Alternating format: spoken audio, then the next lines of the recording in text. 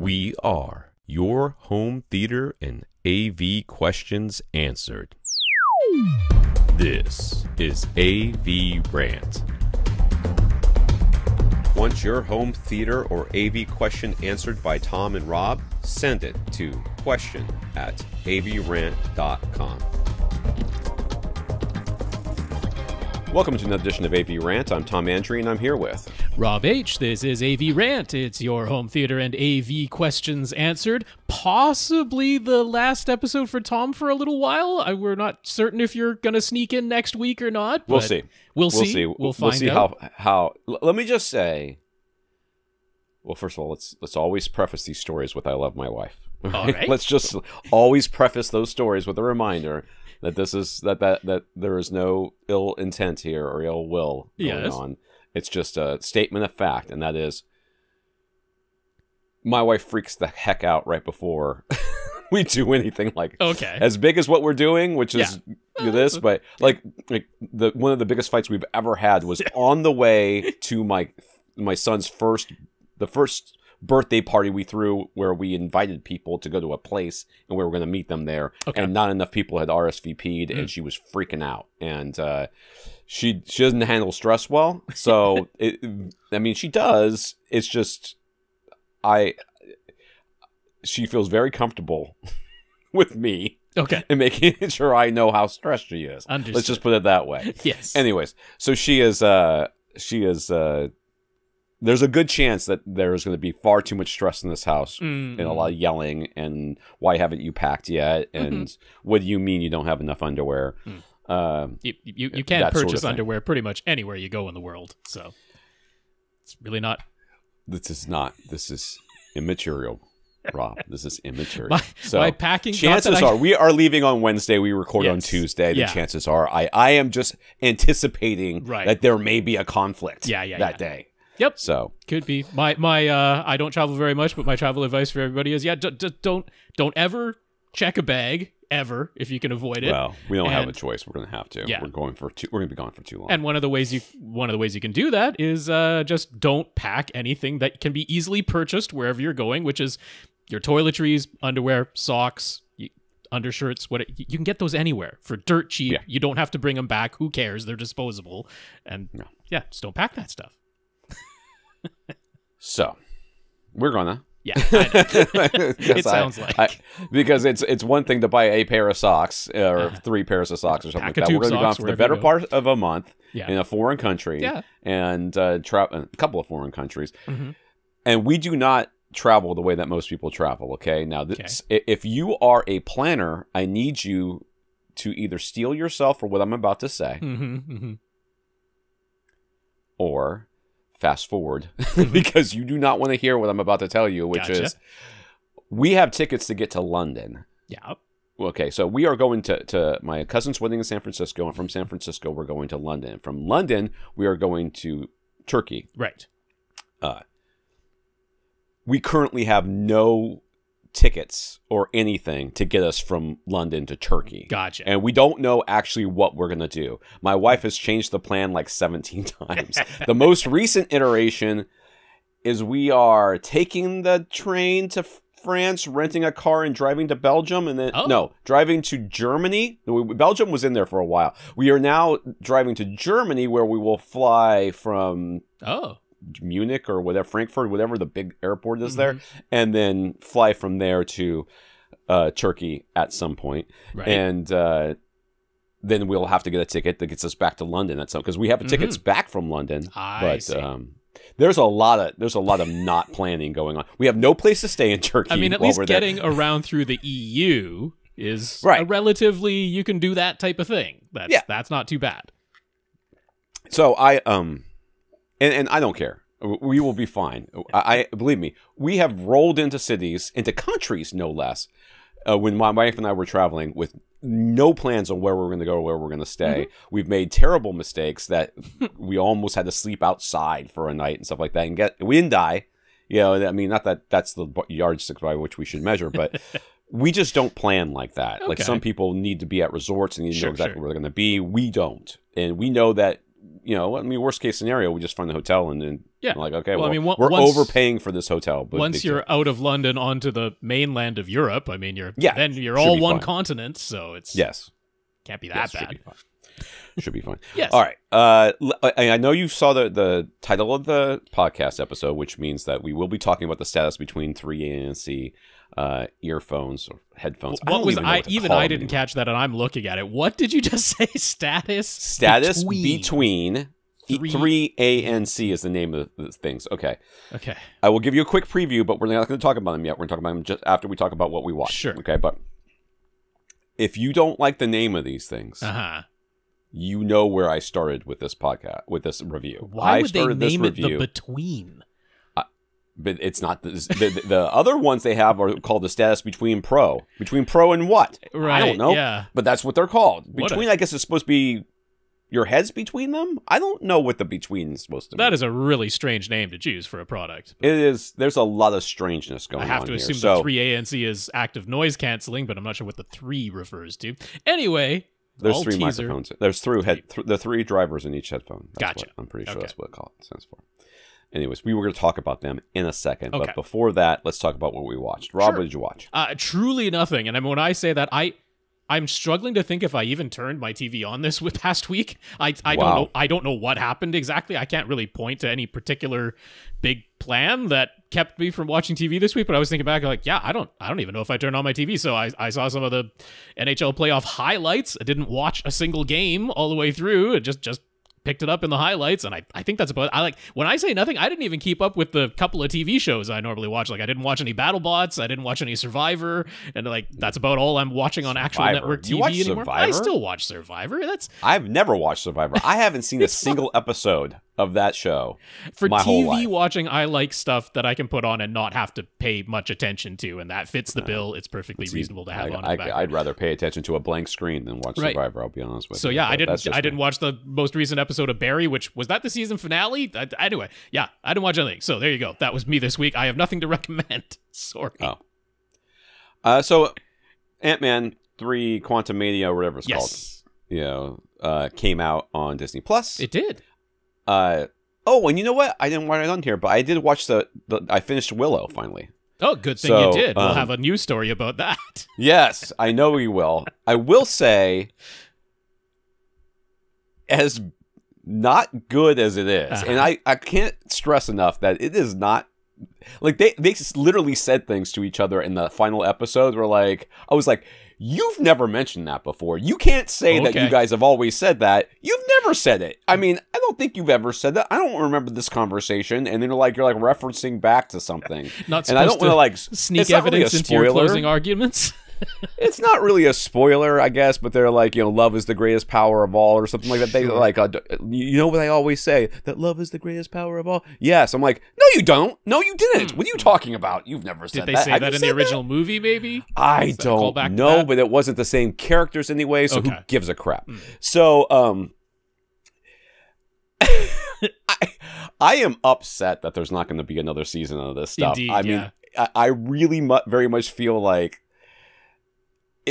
it. Is not so bad it's good, but it's Yeah. so bad it's fun, or it's so fun you give you don't care that it's bad. It's just I was just thinking while you're saying that you weren't here when I talked about it, but that that is like exactly how I'm feeling about Jem and the Holograms, the the movie version that came out Ah. a few years ago. I talked about that with Lee, and I'm like, that is exactly what it is. Like, is it just objectively not good? yes.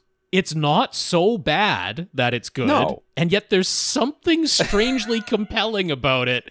Where I think about it from Everyone time to is so committed to this story. smile. right? All the actors are just like, I am committed to this, and I you feel like, all right, I'm going to Yeah. go along with you, and Yeah, then yeah, the complete the, the cognitive dissonance or the visual dissonance of having the bad guys be absolute nightmare fuel, Yeah, right. like out of nowhere. so like people just- did put effort into this show behind the scenes did. in the ca- in front of the camera behind the camera like yeah you can see it, Yeah. you can feel it. I'm like. Right. Like nothing works. Yeah. like, like the dialogue doesn't work. but this wasn't like just from pure lack of intention or No. or trying like they no, they tried it just didn't They tried. work. and I, you know, I mean, I, I don't think there's any one thing that I can look, I can point at and say this is the problem. I mean, the writing's kind of iffy Okay. here or there, and and and and like I said, there's the the the, the tone is all over the place. Okay. But you the whole time you, you you spend watching it, you're like, this is not very good. But you don't look away, so I don't know what to I do mean, about hey, as this. far as the studios show. are concerned, ChatGPT is going to fix all of that. So Oh God, help us all. Uh, so yes, Willow season two should definitely happen. Ah. all the fact that I know that we're going to talk about it in a second. Yeah. The fact that they're taking it off of Disney Plus, highly unlikely. it's not not great, not great. I am I am tempted to go out and buy the DV Blu-ray version or whatever they Will VHS there be one? I don't think there will be one. That is that is going to be part of the news too. We're teasing so many things for coming up. Oh well. Anyways, I haven't read that uh, article because I Mm-hmm. was mad at it. Anyways, so I did watch the new Ant Man movie. Okay, It's fine. there you go. All right.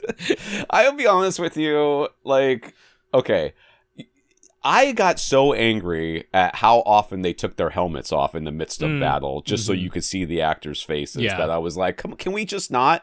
Can we? opposite can of you the just put- Mandalorian. can you just put your freaking helmet back on? You know, it's like, uh, you know, I'm. You're right. People are shooting at you, helmets on. Mm. Like, no, I, I know you want to talk to your daughter or wife or whatever she is. I don't even know what Hope is in this stupid series, but you know, girlfriend, whatever, mom, dad. I understand that you want to talk to them. They can hear you with the helmet on. They can hear you. You have like microphones in it. Should and, be like, able to, yeah. speakers. Yeah. And they talk So to each let- other across great distances through wireless technology that still works within the quantum realm somehow. no one cares. No one cares. No one cares. No one cares about your science. Believe me, the problems are much bigger than that.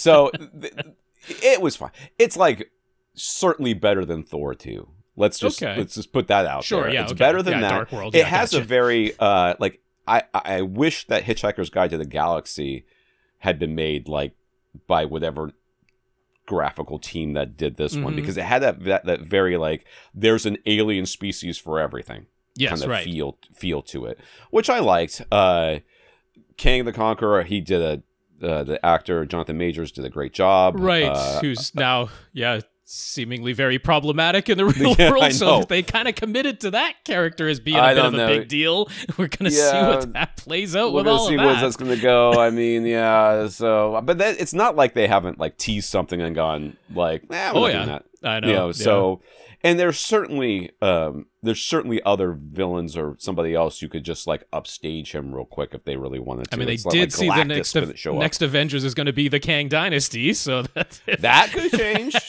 that that that might change. Yes. But uh, yes, I thought that um, overall it was it was fine. Okay. You know, I, I told my wife you don't need to watch this one. You know, Yeah. there's just a lot of a lot of fighting, a lot of battles. I mean, you and I of- often disagree on our takes on movies, but this one we feel much the same. Yeah. Mhm. I'm, I'm not mad that I saw it. It's also just like, uh huh. I did like Kathryn Newton though. I thought she was like the the one bit of nice energy in that movie.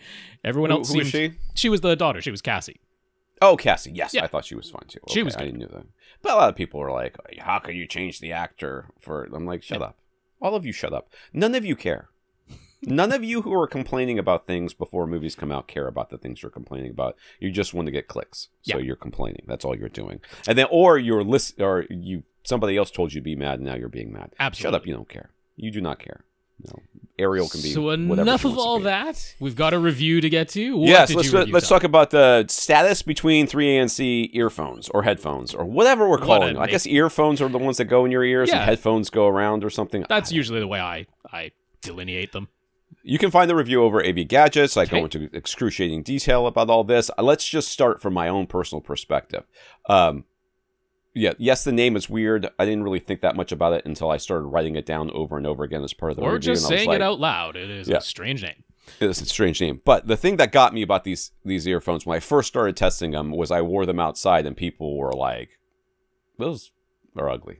Gotcha. I mean, that's that's the that's the really short version And of. you got to do something these days to get any sort of like actually noticing and commenting about earphones because I mean everybody's Yes. kind of used to the stems sticking out of people's ears or whatever. so for those of you that are looking at the YouTube video, if not, you Mm-hmm. can go to the thing. They they are square or rectangular. Okay, the outside of them are rectangular, and but the the, the thing that they don't show you, and I I kind of do this in the um in the review, is they always show them from like like a right angle, like Mhm. directly the side of your face, perpendicular to the side of your face. So they look like they're coming out of your ear and they look pretty normal. Except if you look from the side, you know, they are very deep. Like they Mm. are quite deep. Now there's three drivers in here. There's two um what do you call them? Uh armature balanced armature Mhm, drivers which are for the uh, treble and mid-range and then one regular old driver for all the bass and they this is and the saving grace of these headphones is that they sound very good Okay. they are very good sounding headphones probably some of the best i've ever heard Hmm. uh, full stop so they certainly put a lot of effort into making these sound good and if you look at their marketing first of all they only compare themselves to uh, other white earphones which are of course the airpods Yes. right? And uh, the AirPods sound like garbage. Everybody knows that. That's not really this. You know, that's setting the bar pretty low. But they, yeah, they have a 10 millimeter dynamic driver, which is a regular driver, and then a couple of balanced armature drivers to handle. And that is gives you much more detail in the top end than you, in the mid range than you would really expect. Okay. Uh, they are a little bass forward. I, that's no doubt about that. Uh, and I mean, really, the praise of these headphones begins and ends with their sound quality. okay. It is they are they have very good sound quality and they're good. I guess let's not say begins and ends because their marketing is also phenomenal. Like I get, I maybe it's because I was doing the review and searching for them, but um, my targeted ads are a thousand uh, Okay. percent of these things, right? So I see them constantly. Uh, so th- their marketing is also very good. But um, you know, the app has a very good look to it, Mhm. but it's like not great. I Okay. mean, it, it, it just it makes you go through way more screens, which it, the number of screens that you should have to go through to to access the you know the front page of the app for the headphones that you are currently wearing Mhm. is at maximum one. You should Mhm. have to maybe choose them, right? There's like two or three that you got to get through on this Mm. thing. You got to open it up. It's gonna it's gonna say take them out of the case. I'm like this screen that you're saying take them out of the case does not come up unless one of them is out of the case. Like Interesting. unless unless the earphone is connected to your phone via, via Ah, Bluetooth, right. your this the, the app will just say will just not. Oh, I mean, it won't, won't do anything. So this is dumb. And then you have to pass that. You have to say, do you like? There's another thing, another screen you have to go through and click connect or Mhm, something to get mhm. into them. It's dumb. And then you know, there's no battery indicator anywhere on the app or on your phone that I could find for my phone that will tell you how much battery is left on the case. Mm. They'll tell you how much battery is left on the earphones, Mhm. but not the case, which is also very dumb. So I am, you know, overall, that side of it, like all the rest of it, The usability. is not very good, Gotcha. or at least needs. This company screams startup to me, and I, Mm-hmm. you know, hey, everybody starts somewhere. They can certainly improve these things. There are certainly ways of updating the app, and you know, maybe adding some of these things or you know streamlining some of them but the real problem is, is that they look dumb okay so i'm going to take my Okay. headphones off which means i will no longer be able to hear rob That's fine. what's happening. Uh, and I'm going to put these in. Okay, so at least one of them in. So there's one of them in. If you're looking at the the thing, you can see here. I'll put Rob up to my ear. Okay. You can see how far out of my ear they stick. Now there Right. could be other ears that are not this much do not stick out this far. But the, you know, I mean, Well, it is. Yeah, it is the sh- it's the shape and the design of it. Like having like a Bluetooth earpiece in. Like Yeah. it's not it's not miles away from that if you're never going to see the images that we're talking about. But yeah, it it really does look like a USB thumb drive or Yes, or, uh, exactly or a what it looks USB like. dongle. It looks like you've got Yeah. a USB dongle stuck into your ear. That's really That's what exactly it looks what like. it looks like. Yes, I'm going to take it out now. Put my Yeah. headphones back on.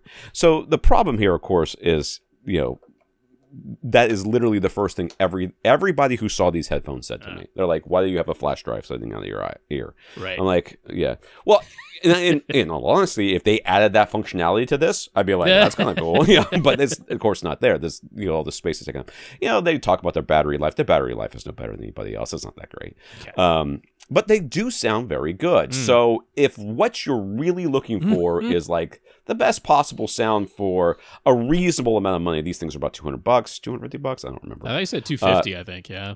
yeah, they are. Um, yeah, 250. Mm. They are. They sound very good. Hmm. Uh, do they? Are they the best two? 200? I haven't heard every other every an ear 250 dollar I don't know. These are very good compared to all the other ones I have. Ah. And I really, I really went into these, especially once I saw them on me and you know kind of played around with the app and stuff like that. I was like, ugh, Hmm. I don't, I don't want to give them a good review. But I couldn't. I couldn't not give them at least that Praise they sound the sound very, very good. At yeah. least. Yeah. Okay. There's other things that they, they can do better, and I think that you know certainly this is I think this is their second pair of headphones that I Mhm. saw on their website. The first one being the Pros, uh, which are cheaper than these three ANC. And the other thing is too the ANC performance. I'm so Ah, tired. right. Yes. I am so tired of everybody saying we've got the best ANC. No, you don't.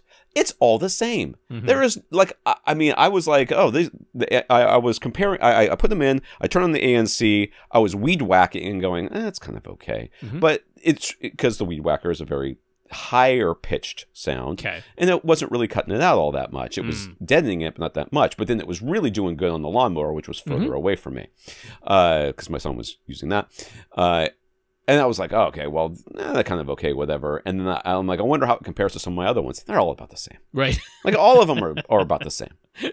You know, so I compared like three or three or four different headphones all together, and I was like, yeah, it's kind of what they do. That's what ANC sounds like. Yeah. It, it, ANC is not magic. You know, No. there is. I'm, I'm sure that you can get like super duper high tech good ANC, and it's wonderful. But you know, it's with most of these headphones, they all sound about the same. It's inverse sine wave generation. That's that's it's not all it it's is. not brain surgery uh, and the real problem i mean again going back to the usability they have two different ways of controlling the thing they have a button a physical button on like the top of the usb drive i'm going Mhm. to call it that so Yeah. they can suck it and they have like the capacitance touch on the side Yeah. right well that button on the top you know, you're like, ooh, a physical button. That must be nice. It gets that physical feedback. Well, either I have the deadest fingers in the world, which is certainly possible because I do climb, but uh, or you know, this button has no tactile feedback that I can really sense. And it's like one press, two press, three presses. Mm. And let me tell you about two and three presses. They ain't kidding. You better be quick. This is like, you know, you got the Mm-hmm. I'm also thinking like, how do you tap that without accidentally touching the capacitive part on the side? It's it's not easy. Pretty it's close not easy. I'm proximity. gonna be honest with you. They're right there. Yeah, because it's not the metal part at the bottom that you saw. yeah, it was yeah. it's, it's the it's the plastic part at the top. So uh, and then it's uh, like it flips one of the controls there, which are non non configurable. You cannot change the controls, Mm. which a lot of apps will let you do. Uh, is the, the one of the, the the things is to change between uh, the ambient mode and the au- the uh, auto noise canceling mode, Mhm. right? And the problem is, is those are the only. It just like once you press that button, or even accidentally press that button, it switches you into one of those two modes. I can't remember which one goes first, and then you can switch to the other one, and then you can switch to the first one, and back and forth. But you can't get out. yeah, you can't unless get you go- noise canceling off. That's not a yeah, you can't just turn it off. In fact, there's a it's, and I didn't mention this in the review. You know, usually they have some sort of female voice. Uh, Yeah. That like kind of talks to you, Siri esque Yeah. sounding. Uh, this is not. This is just some dude, and it's. and I got no problems with that, but you know what? like it, he he just said. I don't know. It, it it threw me off the first couple of times. Right. Every time I heard that, I was like, uh. I'm not saying he's a bad voice actor, or maybe he's just one of the the crew or whatever. And He has a nice tenor to his voice, tenor to his voice, but it's just. I don't know. I never really, it, I never really liked it. If that Okay. makes sense, it didn't really feel helpful. It felt more a little, a little judgmental. I don't know, but he, uh, and he just tells you, uh, ambient or uh, and ANC mode on, uh, Mhm. am- ambient and ANC mode off. Right, those are like the or in headphones connected, maybe you might say as well. But uh, very, it's just kind of like they're like like nah. It doesn't switch. Like when you switch between the two, it doesn't say anything. It just gives you like this noise, this kind of this chime that lets you know which one you're on. Mhm. Which if, if you do it enough, you'll remember which one is associated with which one. But I didn't because I always turn it off. Uh, but you have to turn it off from the app. And Yeah. when you turn it off, then he pops into your ear telling you that you turned the whole thing off. It's very strange. Anyway, so Well, yeah. it's not a glowing review, No, but it, it it's certainly not a I just negative. I have review. to think for that price though there are other headphones that still sound good and do all of these other all the other better. So, well, and that's yeah. the that's where I really kind of land is like it's very hard when there's so many like like all of these, not all, but many of the headphones I've reviewed from Soundcore, they all use that same app. Yeah. The app is great. Mm. The app is great. It's not, I mean, I think that the looks of the status app was better. Okay. Like it has that sort of white, you know, iPhone looking Sure. look that everybody likes so much. And it, the, the, the EQ certainly did something, and it had most most of the functionality I want, but it was just lacking so many of what I think to be fundamental things, Mm. like let me get into the the, the control part of the app without going through two or three screens, please. Okay. Uh, you know, let me know the battery of the case, please. Okay. You know, let me have the ability to turn off the A you know both the, have an off option on the ANC and the ambient noise mode Yeah.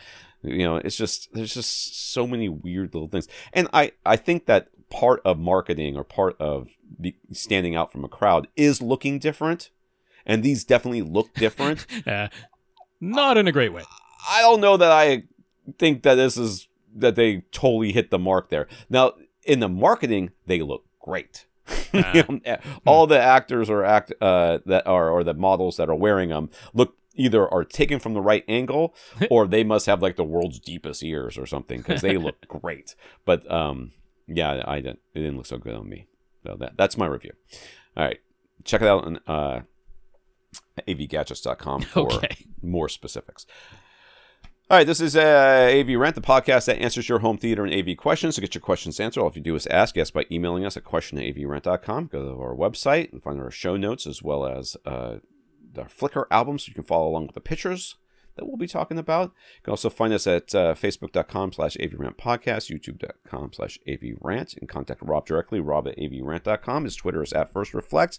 I am Tom at avrant.com, and I am not active on Twitter.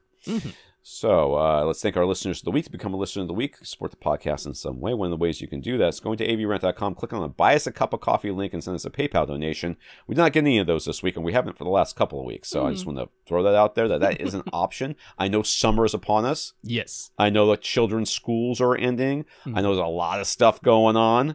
I know I should we should be planning a lot more than we are for our vacation. So yes, there's a lot of stuff. I understand that.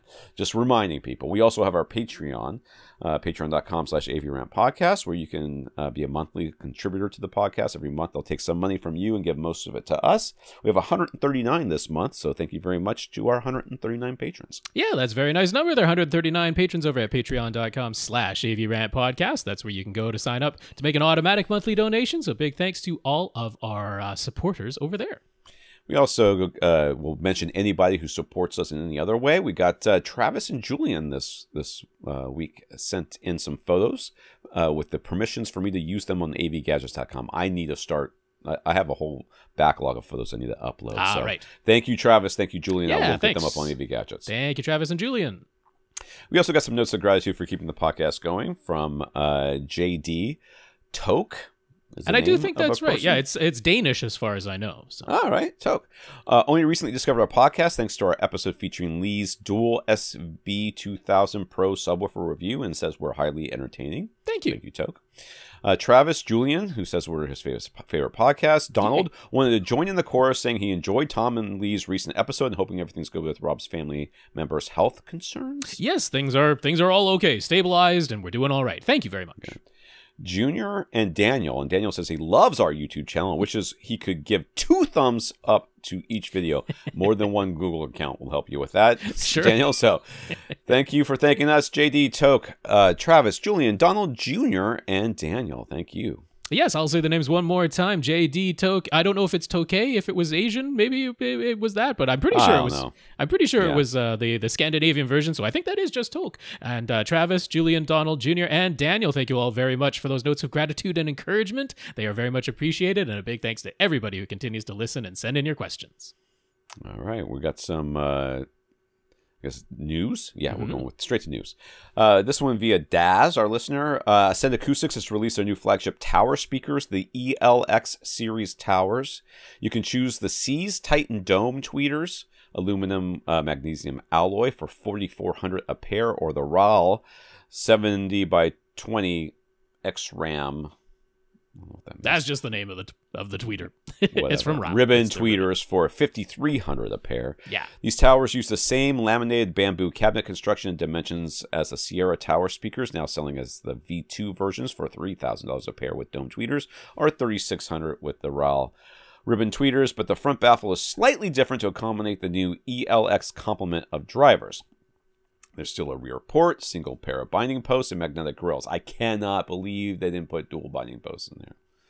I, I mean, hey, uh, Dave doesn't They- believe from in the co- putting stuff on there that doesn't actually do oh anything. no, this is Ascend. I am sorry. Yes. I apologize. And this, I, and I thought this was Aperion. In my head, I went Oh, to Aperion, see. and I Nope, was nope. thinking, why? How can the company that sells you super tweeters not put dual binding No, posts? this is But Ascend. I agree. I agree. Ascend is much more realistic. Dave uh, trusts the crossovers that he is very good at designing and uh, doesn't believe there's any particular reason why you would need to artificially separate the crossover that he spent a lot of time designing. Yeah. Yeah. The LX name comes from the fact that these new towers use a 6 inch EX driver that was developed for the Sierra 2 EXV2 speakers as a dedicated mid range driver, along with two of the 6 inch LX drivers that were developed for the Sierra LX speakers. Everything has been optimized using Ascend's Klippel measurement uh, system. They are particularly proud of the exceedingly uniform off axis dispersion that shows almost no change at 10, 20, and 30 degrees off axis horizontally over the entire frequency range versus the on axis response. God help us for all the people that, that are going to say that this is a bad thing and or will still point the speakers directly at their face. Uh, Ascend is self-proclaiming these to uh, these to be end-game speakers suitable even for huge rooms. That's o- owning owing to their uh, 90.5 dB to which is 2.83 volts, one meter sensitivity in room, which they li- also list as A7.5 anechoic Yeah. with a listed so it's really a 7.5 anyways uh, with a listed 8 ohm nominal impedance and the power handling of 400 watts continuous 600 watts at peak however their own impedance measurements uh, indicate it, it should be probably spec as a 4 ohm nominal speaker Yeah. so for being conservative and you have amplifiers capable of delivering at the specified wattage these are still around 15 to 16 foot uh, listening distance speakers for full reference volume so maybe huge rooms is pushing it a bit, but regardless, these are the most capable speakers Ascend has ever offered. So there you go. Yeah, uh, I'm not certain because the thing is uh, they're working very closely with SEAS uh, out of Norway, uh, who are the the uh, company that actually physically manufactures the drivers that they use, and Ascend uh, quite heavily. Um, uh, modifies uh, any of the SEAS drivers or, or has them modified by SEAS to be exactly the parameters that they want. So when they're saying that, you know, they've they've sort of taken the EX series driver that they used in the new Sierra 2 EX version 2 uh, and used that as the dedicated mid-range driver in these new ELX towers and taken the LX driver from their Sierra LX speakers, uh, two of those as the woofers. Um, they they might have customized those just a little bit further uh, for these specific speakers, uh, since those are uh, drivers in SEAS's lineup where they can tweak the parameters of uh, of exactly what's going on there. So it isn't necessarily that they just took the exact same drivers as what's in the Sierra 2 EX and in the Sierra LX and dropped those into these towers. These might be slightly modified. They talk about them being proprietary drivers to this speaker. So uh, that is probably the case where there's slight modifications that have been made there. But uh, basing on a platform now across multiple of their speakers in their lineup. And uh, yeah, uh, some people have been requesting like, hey, can you make you know Ascend Acoustics? Can you make a speaker that can play even louder than your uh, Sierra Towers and your uh, Sierra Horizon Center? So this is their answer to that: the ELX, some larger mid-range and uh, and woofer drivers going into those uh, towers. So yeah, have a look out for those. Yeah, I'm looking at the um, impedance graph, and it does Yeah. dip for a good portion of the base into f- Yeah, lower well, than five ohms. Yeah, also just the the way that you're supposed to spec nominal impedance is you look for the low point of the saddle uh, after the point of where the bass driver uh, crosses over there, and whatever that dips down to is what you're supposed to spec as the nominal impedance. So that is that is below five ohms. It is definitely is- not eight. It is definitely it's not eight. Definitely not eight. The low point of that saddle. Unless you're crossing your speaker over at one kilohertz. That's right, yeah. So- then it's eight for sure. I mean, I'm sure they want to say it's perfectly fine to use this with a normal AV receiver because that is the case. It's perfectly fine to use these with a normal AV receiver. So that's probably why they just threw the 8 ohm number in there. But It's yeah. interesting that they have a minimum recommended power at listening position Yeah. for spec- specific speaker distances. Like, That's how loud is audiophiles. that? Is that like, It's pretty quiet, most of those, honestly. yeah, 70, you're 21 feet or more away, 72 watts minimum. 72 watts at 21 feet It's not very loud. I don't think it's very loud. I mean, I think So- that's hitting your sort of like 85 dB, you know, going on Yeah. there. But if you then want to get up to the 105 dB peaks for movies, uh, you're going to struggle. So, yeah. So interesting looking uh, speakers. I certainly a respect to send, and uh, it is I, I it is kind of funny that these some of these specs numbers are a little bit questionable. A little bit fudgy, which is, yeah, generally- wouldn't totally expect that from them. That's yeah, unusual. I generally don't expect that from them. I expect that from a lot of other people. Oh, but I don't necessarily necessarily expect it from them. But these do look like very, and I trust that they are. Now, I love those bamboo cabinets, by the way. Those, I those do are my too. favorite thing. They're wonderful. I do too. I will tell you though that there is something, and and a lot of you out there who are uh, really into audio, really into home theater, really into all this stuff, are probably going to feel the same. Speakers with exceedingly flat off-axis response that that mirrors or you know equates to exact to the on-axis response Mhm. are phenomenal. Let me just say it, are phenomenal. Okay, they are also frustratingly boring when you are trying to set Point them them anywhere up. you want, pretty much. you, know, you just you just get like I'm gonna play with the toe in. You play with the toe in, Yeah. and everything sounds exactly the same. Right. And you're like, well, this sucks. I didn't have to do anything. I don't. I mean, these are like brain dead speakers. Throw them at the front of the room. They don't even have to be pointing in the same we direction. would You still anticipate them the to be not terribly picky about toe in. That would be the anticipation. like one's straightforward, one's towed in a little bit, and, and, then, and then people are like your speakers aren't even. Ah, it doesn't matter. What do you mean it doesn't matter? Right. it doesn't matter. Honestly, you know, if you're the type of person who has to deal with somebody else does the cleaning and they frequently move your speakers around a bit, that could be an advantage. I'll tell you what. If your boy Dave wants to send me a couple of these, Right. I'll switch out my uh, my SVS Ultras. I don't really want the towers. I want to have a bookshelf of these, but yes, I would love not having to worry about my wife. Right. Not that there's all that much cleaning going on in this room, to be honest with you, but it does make a difference. All right, the announcement. This is also in the news. The announcement came next week, uh, just after we recorded, so we're a little bit last late. week. To I the, don't last week, we got to next week, but it came last week, yes.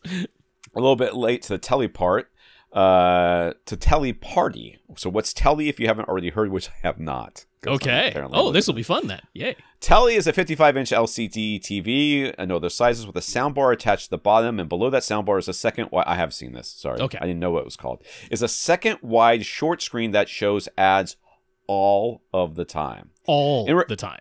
in return for constant ads, you get the Telly TV for zero dollars out of pocket. Yep, it's a completely ad supported hardware lease. They say you can opt out of the literally constant ads, but if you do, they'll charge the credit card that you still have to supply on file for the full purchase price. They used to uh, list that as 500, but now they've removed the speci- specific price from their site.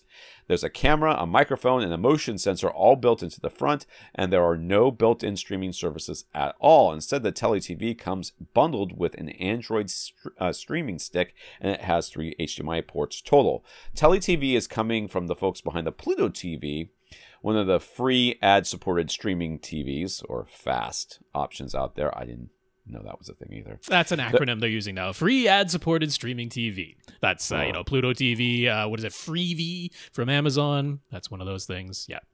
All right. They're open by the fact that they that they're collecting all of your personal data and viewing habits, but they swear they don't do record anything, transmit any live camera or microphone feeds, or use facial facial, facial recognition. Honest, but Yep. the hackers do, but not them. But the hackers. Scouts honor. They aim to ship 500,000 units this year and millions of units next year. That's what they aim to. Yes. Whether or not they do is remains to be seen. and when pre-orders opened up last week, they say over 100,000 people already signed up within the first 36 hours. Specs about the TV itself don't seem to be listed, but they say it's 4K and HDR, and the soundbar has five drivers.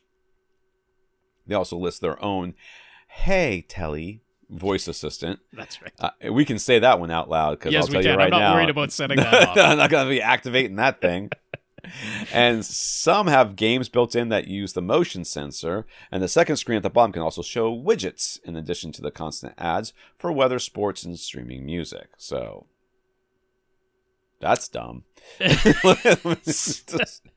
I mean, I, wow. I'm not saying that it, it's not the future of television. I'm not saying that. it's I'm the not Black Mirror future of television. it is definitely the Black Mirror future of television. Uh, so I have been on this podcast and for years uh, one who has downplayed the importance or the the concerns about data privacy, Mhm. uh, simply because I am boring. And I think that I am boring, and I think that no one cares about me. And I sometimes appreciate targeted ads, like this, the status stuff that I've been seeing nonstop. It's annoying. I'm gonna, I'm not gonna, I'm not gonna lie. It's annoying.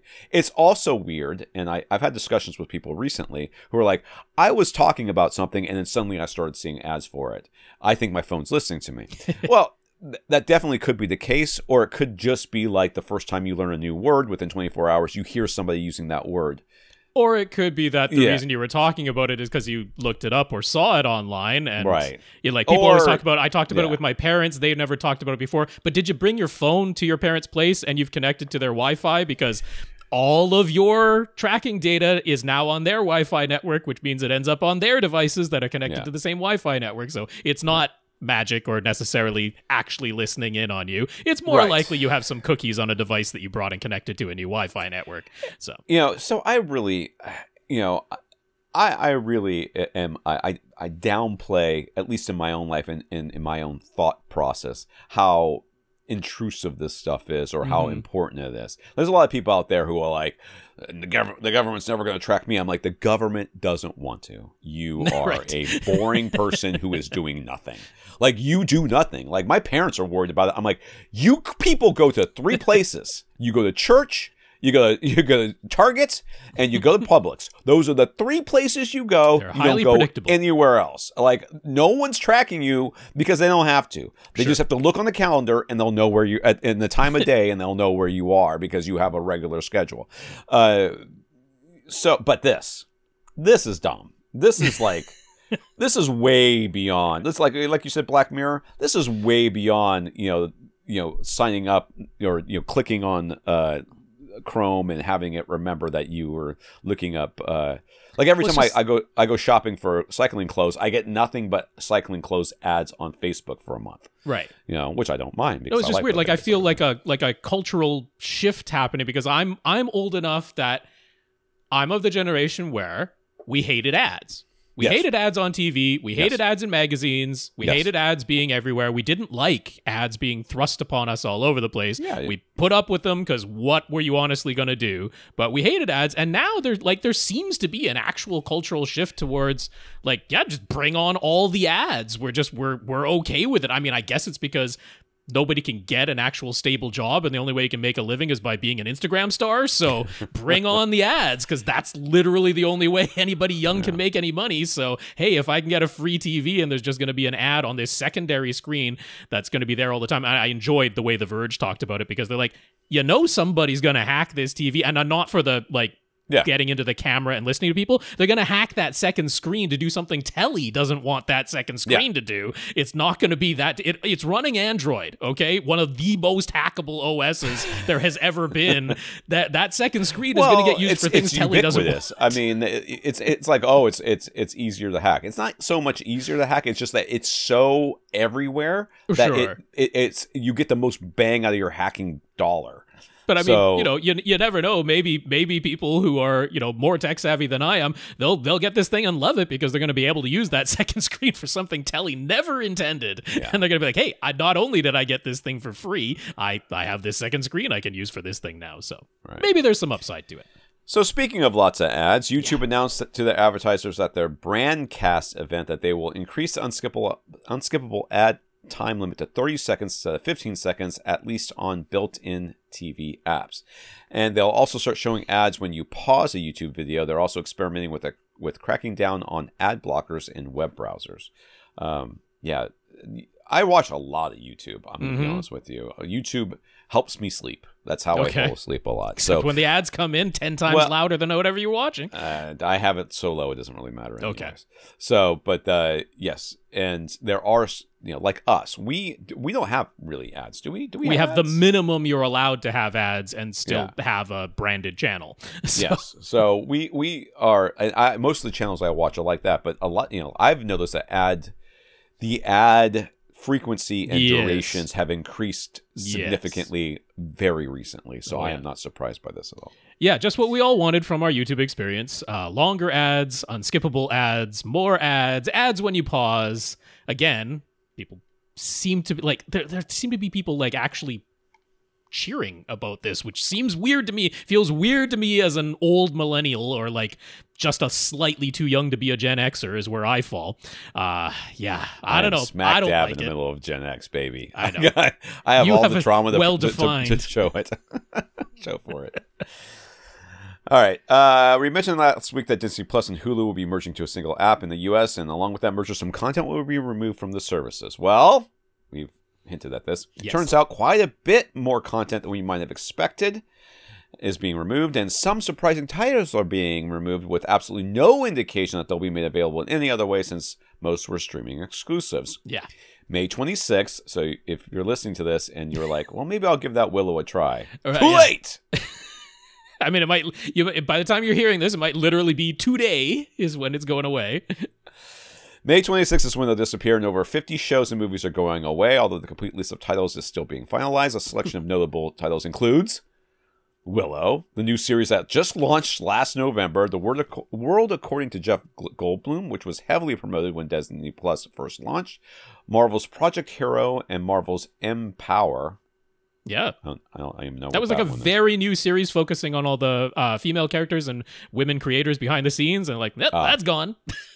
The Princess, Y: The Last Man, Dollface, and many more. Y: The Last Man? I wanted to see. I And know. I actually think I started watching Dollface. Don't Right. remember. And the princess, you watched that, and I remember you enjoying that. So that's kind of weird. That was the Joey I don't King. remember the Princess. Which one was It that? was the R-rated one. Joey King starring in it.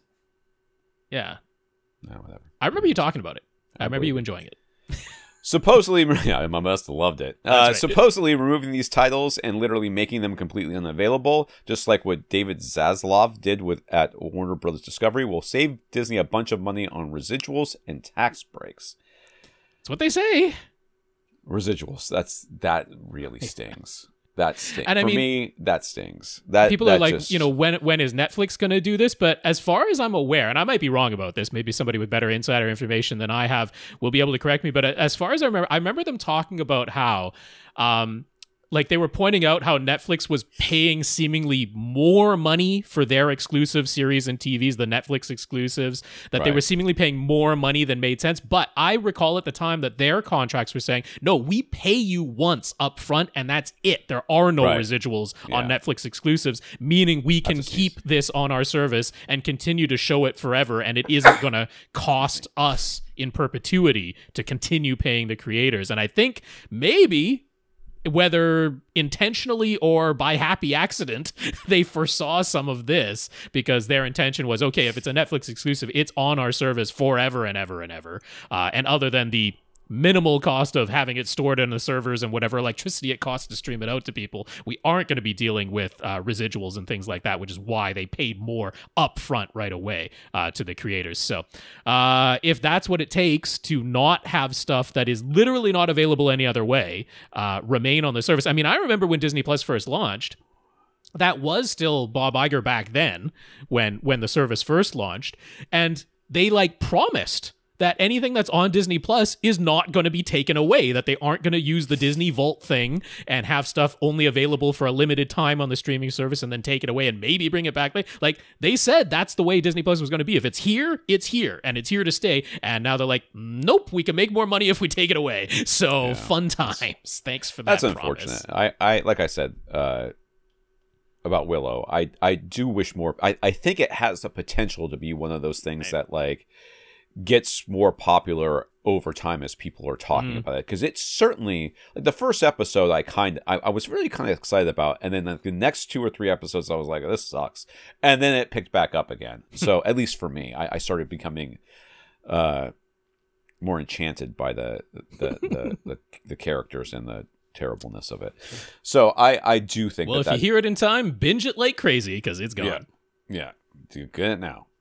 Uh, comments. Uh, Travis wanted to, this is from our listeners. Travis wanted to uh, share a couple of updates. He had the Denon X2200W receiver that was buzzing after doing some power dusting. He was never able to fix it. So he found a good deal on a 2700H and he's very happy with it. Can't say there's any noticeable difference in the sound after running Audyssey, but this receiver doesn't buzz. So there's, Yes. there, there's a, there's a That is noticeable. He also upgraded his desktop speakers to some Revel M16s paired up with an SVS PB12 NSD sub and powered by an old Denon X2000 receiver. He also added a 3 inch thick acoustic panel to his front wall, and it all sounds great. And that acoustic panel is almost invisible. I missed it the first time. It is white. It's white. It's Everything white. else is white. So yeah, you don't really notice the panel back there. So people who are wondering about the yeah, can you have a panel that's uh, virtually invisible? Yes, you can.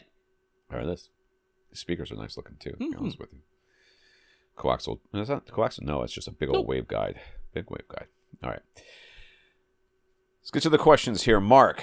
Mark wanted to help a friend uh, out with uh, some advice. His this friend had an apartment fire a little while ago and lost his 2.1 stereo system. He decided to replace it with the 5.1.4 Atmos setup after repairs. Well, Without consulting Mark, his friend just went to Magnolia at Best Buy and came home with Klipsch Reference Series speaker package 5.1.4, including upward firing Atmos modules and the Arcam AVR 5.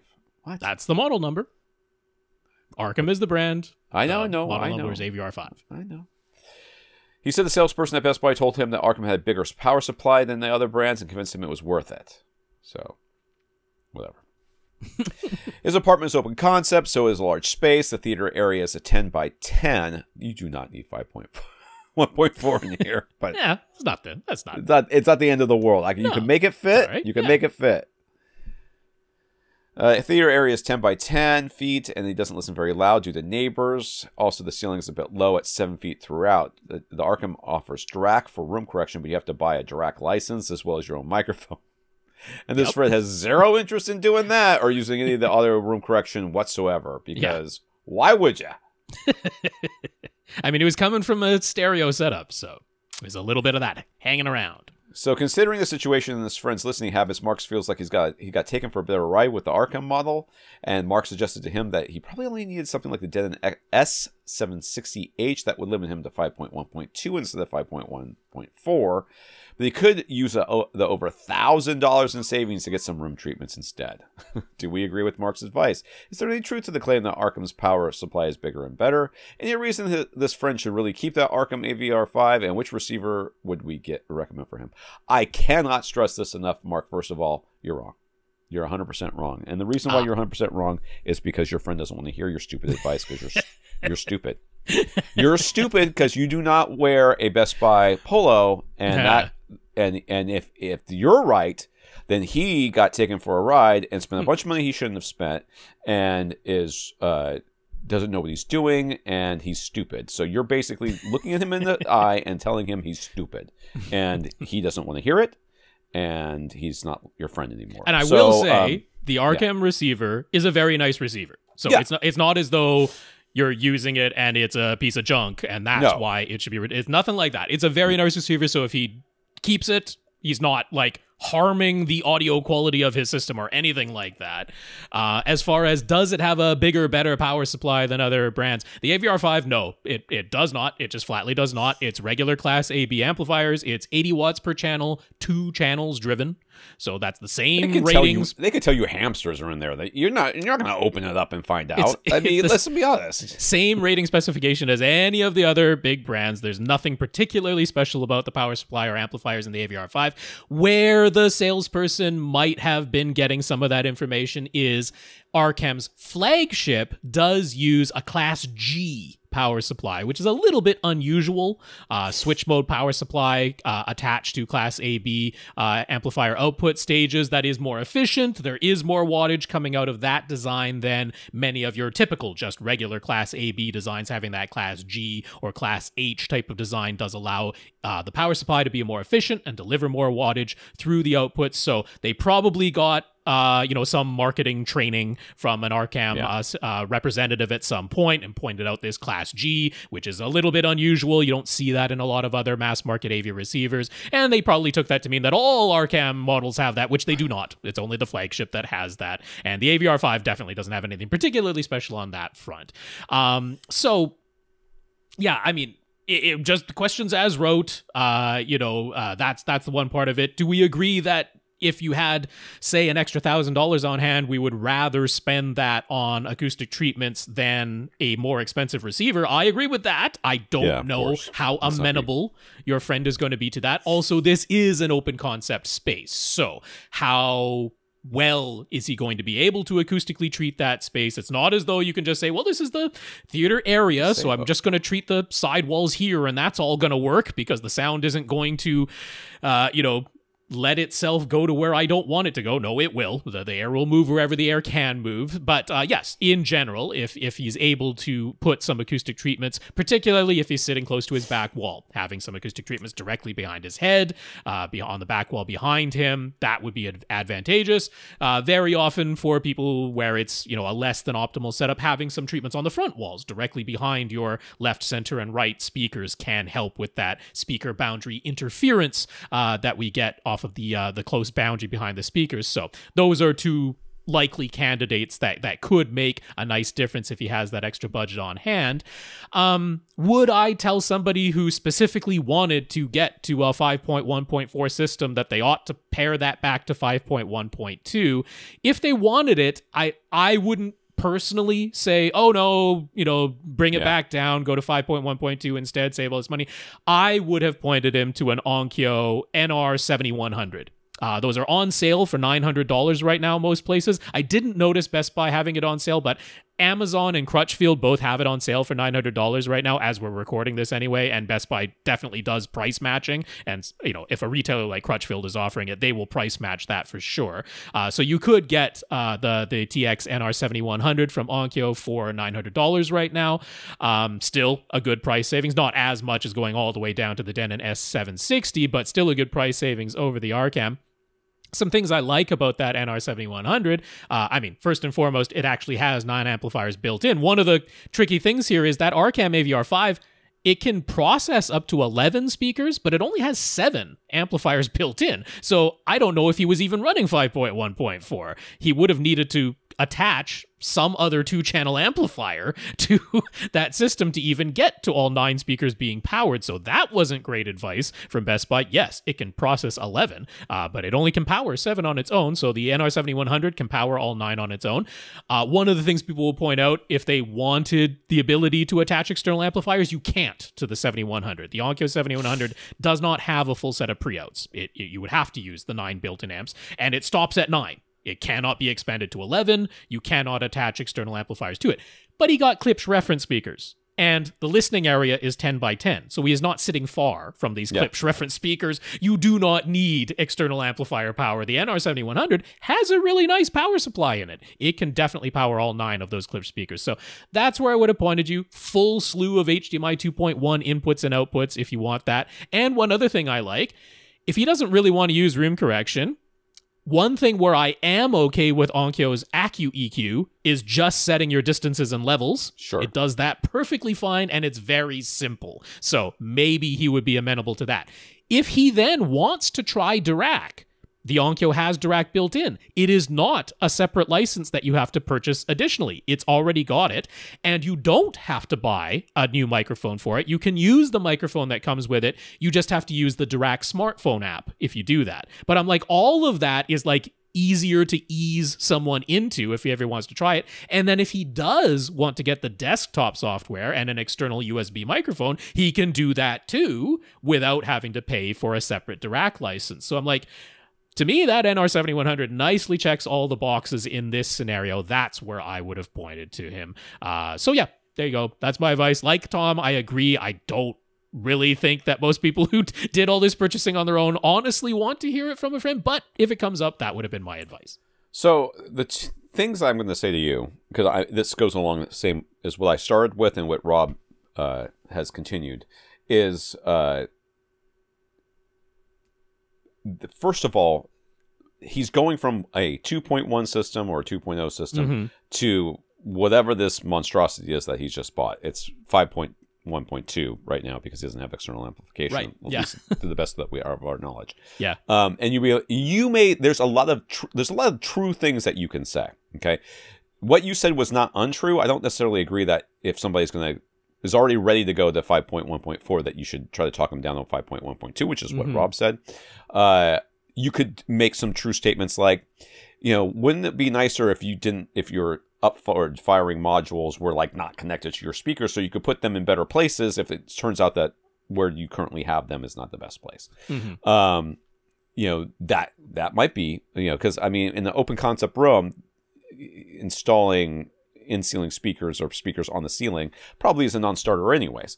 You could say stuff like that. You could say, you know, maybe Klipsch are fine for this this room, but you know, maybe get a better subwoofer. You could, could have done that. It's also not true. that the Klipsch subs are bad. I don't have a big beef going with no. a Klipsch sub. That that's but if that's he's going to try to fill this choice. space, which he isn't because mm. he's not really listening at loud volume, anyways. Yeah. The fact of the matter is, is even if he just keeps what he's got, everything he's got, it is going to sound better because it's going to sound different. It's going to be he's going from There's going to be two point yeah. to five point, and mm-hmm. that's going to be a massive improvement in at least the fact that you he has surround sound, which is something that he didn't have before. Mm-hmm. He's made too many changes to mm. attribute anything to any one change. like he will not be able to say he likes Atmos because he has no idea if he's enjoying the Atmos or the surround or anything else because he's not had experience with one or the other uh, by themselves. So it's all going to be kind of you know an, amalgam- an, amalgamation. So yes, you can make small. Uh, in this case, if, you, if this person were talking to me, I would nod my head a lot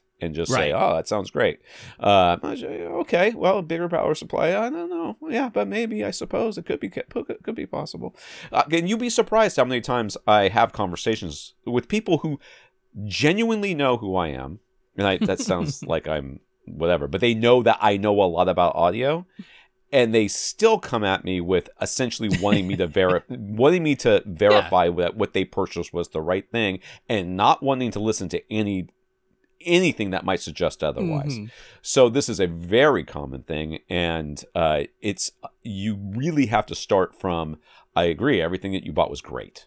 It's fantastic. And I mean, I don't have any problem with the products themselves. So yes. That, that that's why I'm fine leaving it alone. If we want to leave it alone with what he has, I don't have any problem with that.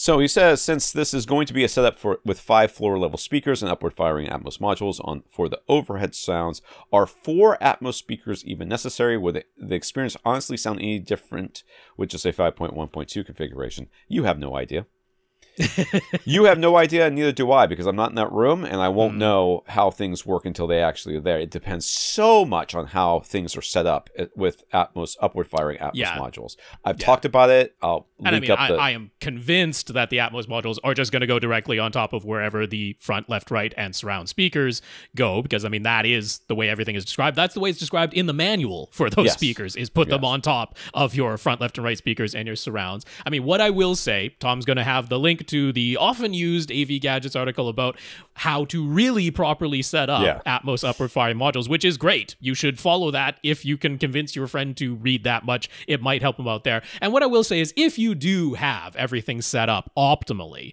I do still prefer to have four Atmos speakers, even if they're upward firing speakers, because to get any sense of forward to back movement, Yeah. you can't do that with just a pair. You can't do that with just 5.1.2. So, I mean, given that he's already purchased it, given that it's what he wanted, given that if Yeah. he were to return the Arcam and go with the receiver that I'm recommending, you can do it and at a lower price than he paid. So there's not like a huge amount of drawbacks to me for sticking with the four. And if it is optimally set up, there is an advantage to it. Sometimes you do have front to back movement. There's a difference between what was overhead and in front of you versus what was overhead and behind you. And I like to be able to recreate that whenever Yeah. possible.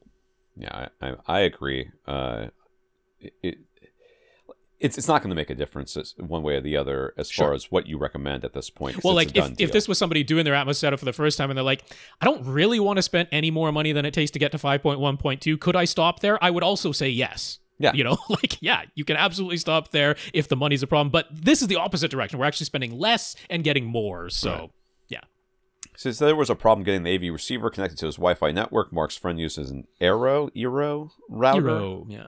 but it's not a mesh network, which is what Eero is best known for. It's just a single router unit.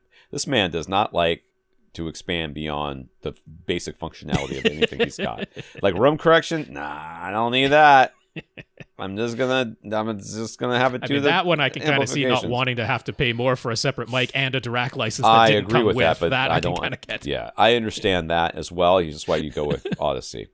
Uh, customer support said the router seems to be the source of the problem. Turning off the frequency band, hopping, and firewall, and even manually changing the network name did not help. The only way he found to get the, it, a working a, uh, internet connection to the AV receiver was to activate the router's guest network and connect the AV receiver to that.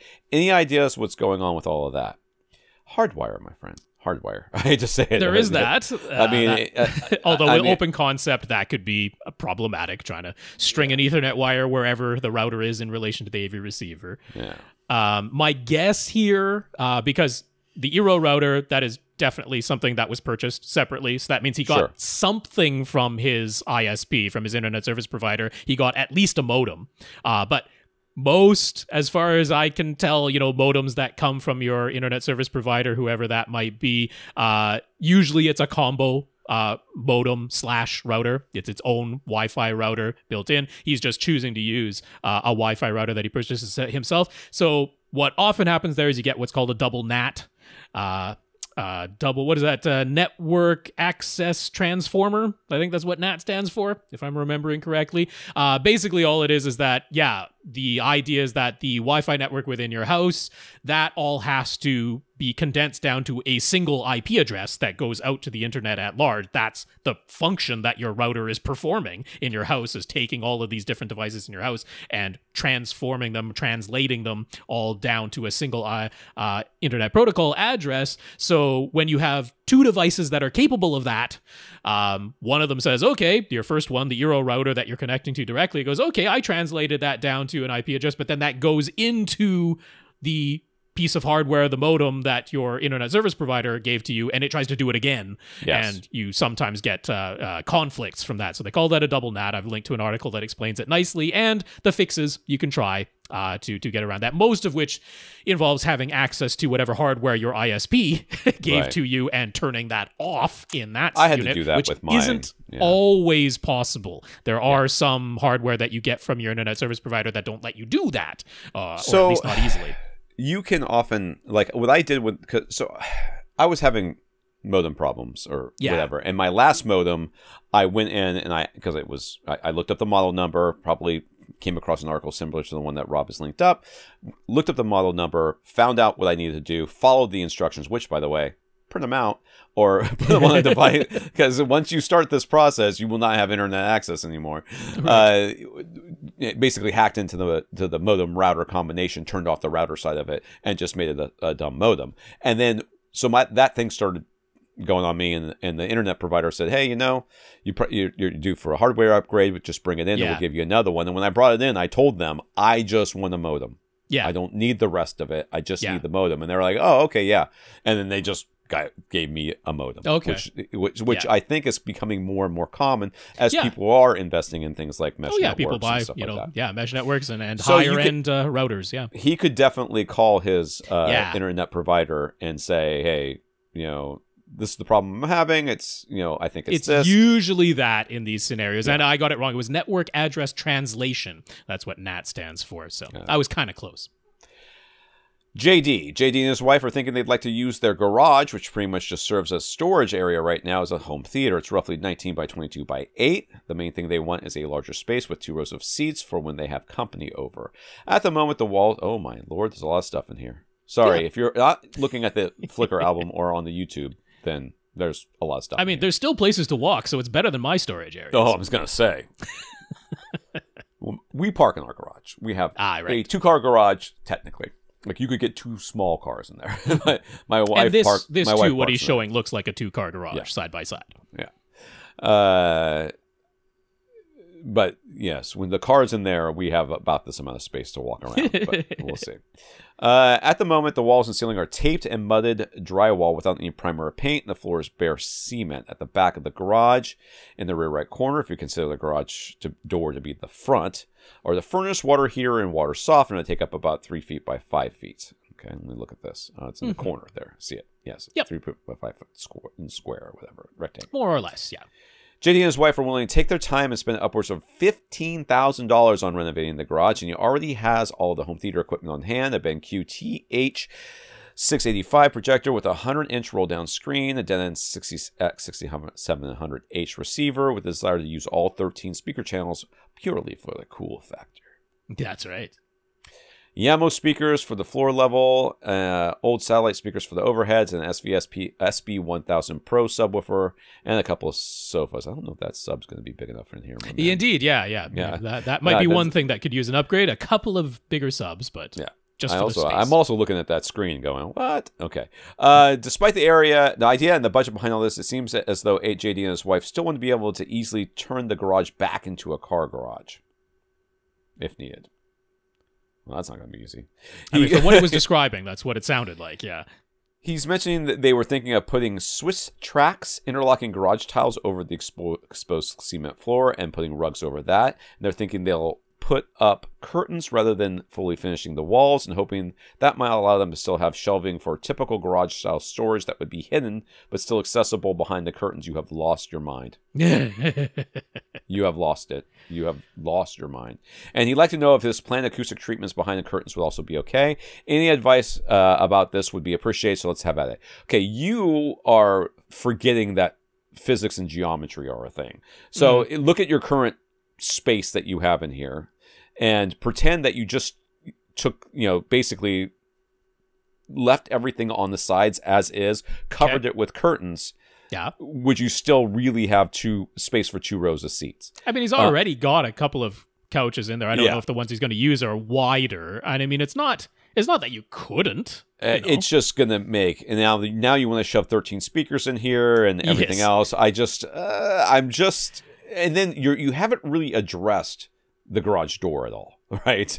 So yeah, I'm not that- sure what the plan is for the garage door. Well, I, I think the cl- plan for the garage door is very clear. They're going to just leave it as is because they want to be able to just take everything out of here and then the garage becomes a garage again. it seems like, like I mean, otherwise you wouldn't do the Swiss track system, which is Yeah. meant for garages. That's what it's for. I mean, if you're trying to picture what it is, it's uh, basically just vinyl or mats. metal Yeah, or yeah. rubber tiles that ha- actually have um, they're they're like slatted so that if there's moisture, it can get down to the drains that will be in the in the garage floor. So I mean, it really is meant for storage areas and garages. Um, so that wouldn't be your choice if you were like, you know, if the idea was completely convert the garage into living space. That's not what you would choose for that. Um, so I mean, I have a much much bigger con- concern than than any worries about how you're going to finish things, what the floor finishing, what the wall finishing, or any of that is going to be, what gear is going to go in here. Immaterial. I'm worried about. Okay, you want to turn this into a pseudo living space, a garage into a pseudo living space, there are big concerns with doing that. Uh, one of the things by code, a garage, you have to have, you know, external grade doors with seals between the garage and the house because the assumption is that you would have a car in here, you might start that car in here. yeah. You might do so with the garage door closed, which you're not supposed to do, but you might. And we cannot have the off gases from the car, the exhaust from the car, with finding any path into the house. We cannot have that. Normally, when you have a setup like this where your hot water heater and your furnace have been positioned in the garage, that is a more involved setup because you have to have direct air draw into the furnace from the outside of this building into the furnace. You cannot have air return, normal air return ducts that find their way back to your furnace when your furnace is in your garage because you cannot have any air from the garage getting into that furnace. It has to be a sealed air system. It looks like it is. It's got all the pipes I would expect to see the even the water softener is like sealed to the ceiling and floor of this setup. And that's all because you cannot have exhaust from a car that's expected to be in here getting into any part of that system. They have to be completely airtight. Um, so I have concerns about trying to turn this into a pseudo living space because this is not a climate controlled space you don't have ventilation, Right. let alone heating and air conditioning coming into this space. Uh, the the ventilation, heating, and air conditioning is the garage door. That's how air gets in and out of this space, and the temperature is not controlled. This is considered essentially external. It's like your attic. It's supposed to be the same temperature as whatever it is outside. Uh, so trying to use that as a theater for when company is over, I'm like, if you live in a place where the temperature year round is fairly stable, then it's not necessarily going to be the end of the world temperature wise, but I'm still concerned about ventilation. Uh, you're not going to be opening up that garage door to get you know cool air or uh, you know fresh air in here and it's completely sealed. You don't have any forced air coming into this garage. You don't have any air circulation. You don't have any air circulation even under a gap in the door because by code it has to be a sealed door. Right. so this if your budget is going to be spent anywhere and it might exceed your $15000 budget in a hurry uh, is if you are truly trying to turn this into a pseudo living space that is a big renovation. That is a monster renovation that I don't think you had anything in mind uh, of that type of level, and I don't you think have to it's talk even to a what contractor, to honestly. Yeah, For for uh, just for turning this into a space that you can even AC. You know. Yeah. To to because you know think of what temperature your garage is, and then that garage door in particular. I mean. What have you ever stood next to a garage door when, especially one of those that has all those? Uh, like my garage door is bigger than yours, and it is Mm-hmm. um, it is hurricane rated or whatever. So Yeah. it has these big long slats, and it's it's a, it's it's a little bit more involved. Uh, but even those have massive gaps underneath, you know, course. in, in Yeah. different places because who cares? It's Well, and it's also that is your source of ventilation. It Yeah. is it is the only source of fresh air. Everything else by code has to be very sealed. So. I'm gonna take this on two different tracks here. On the one track is I've heard about people converting their garage into a dedicated home theater. How do they do that? Well, honestly, the way you do that is by constructing an entirely new room inside of the garage. Now you can have things like an air system that is outside of the new room you've constructed inside of the garage. It is not a cheap or easy or easily reversible. It is the complete opposite of easily reversible process to do that. But that is how people are genuinely converting a garage that they're not using for their car- uh, for their cars into a dedicated home theater. They're building a whole new room inside of that room, and that way it's it's you treat it like any other newly constructed room. It's just that instead of it being an addition on the outside of your house, you you're building it inside of a pre-existing shell. But that's all the garage is. It's a shell. It is not already living space. So the other track is the people who go, I've done this. I've just taken my garage as is. Uh, I've thrown some fabric up on the wall so it doesn't look too ugly, and I put my home theater gear, gear in there and I use it, and it's fine. And if it gets hot in the summer, I don't go in there. And if it gets cold in the winter, I bring in a space heater, and I'm only in there for two hours, so I'm not worried about oxygen supply, and it's fine. And I've done this, and I'm like, yeah, you can do things that way. You can set up a shop, you know, in your garage that you don't park your car in, and people do that all the time. Usually, you want to leave the leave the garage door open if you're doing that, but people do it all the time. They don't literally convert their garage into actual living space. They use their garage for other purposes all the time. It's just that the likelihood of you leaving your garage door open for theater time has got to be nil. I would assume Right. that's not going to be the way. But like you say, if you're really only in there for a two-hour movie, you're not going to actually suffocate from too much CO2 and not enough oxygen. It will go through that garage door. You'll have some Right. ventilation that way. And yeah, the temperature can be temporarily helped with a space heater or even just a you know a portable air conditioning unit if you can stand the noise.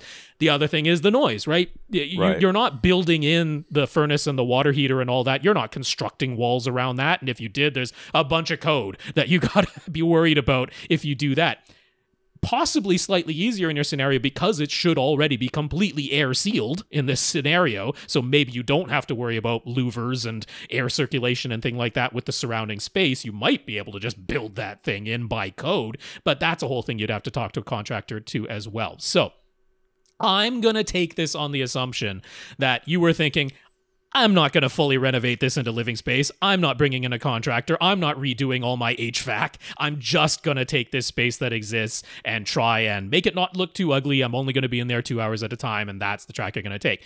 I have to say, to cover our behinds on a legal grounds, don't do that. If you're turning this into pseudo living space, you're supposed to do everything by code and spend the tens of thousands of dollars it would take to do that. But if you're just the person who's going to ignore that advice and do this.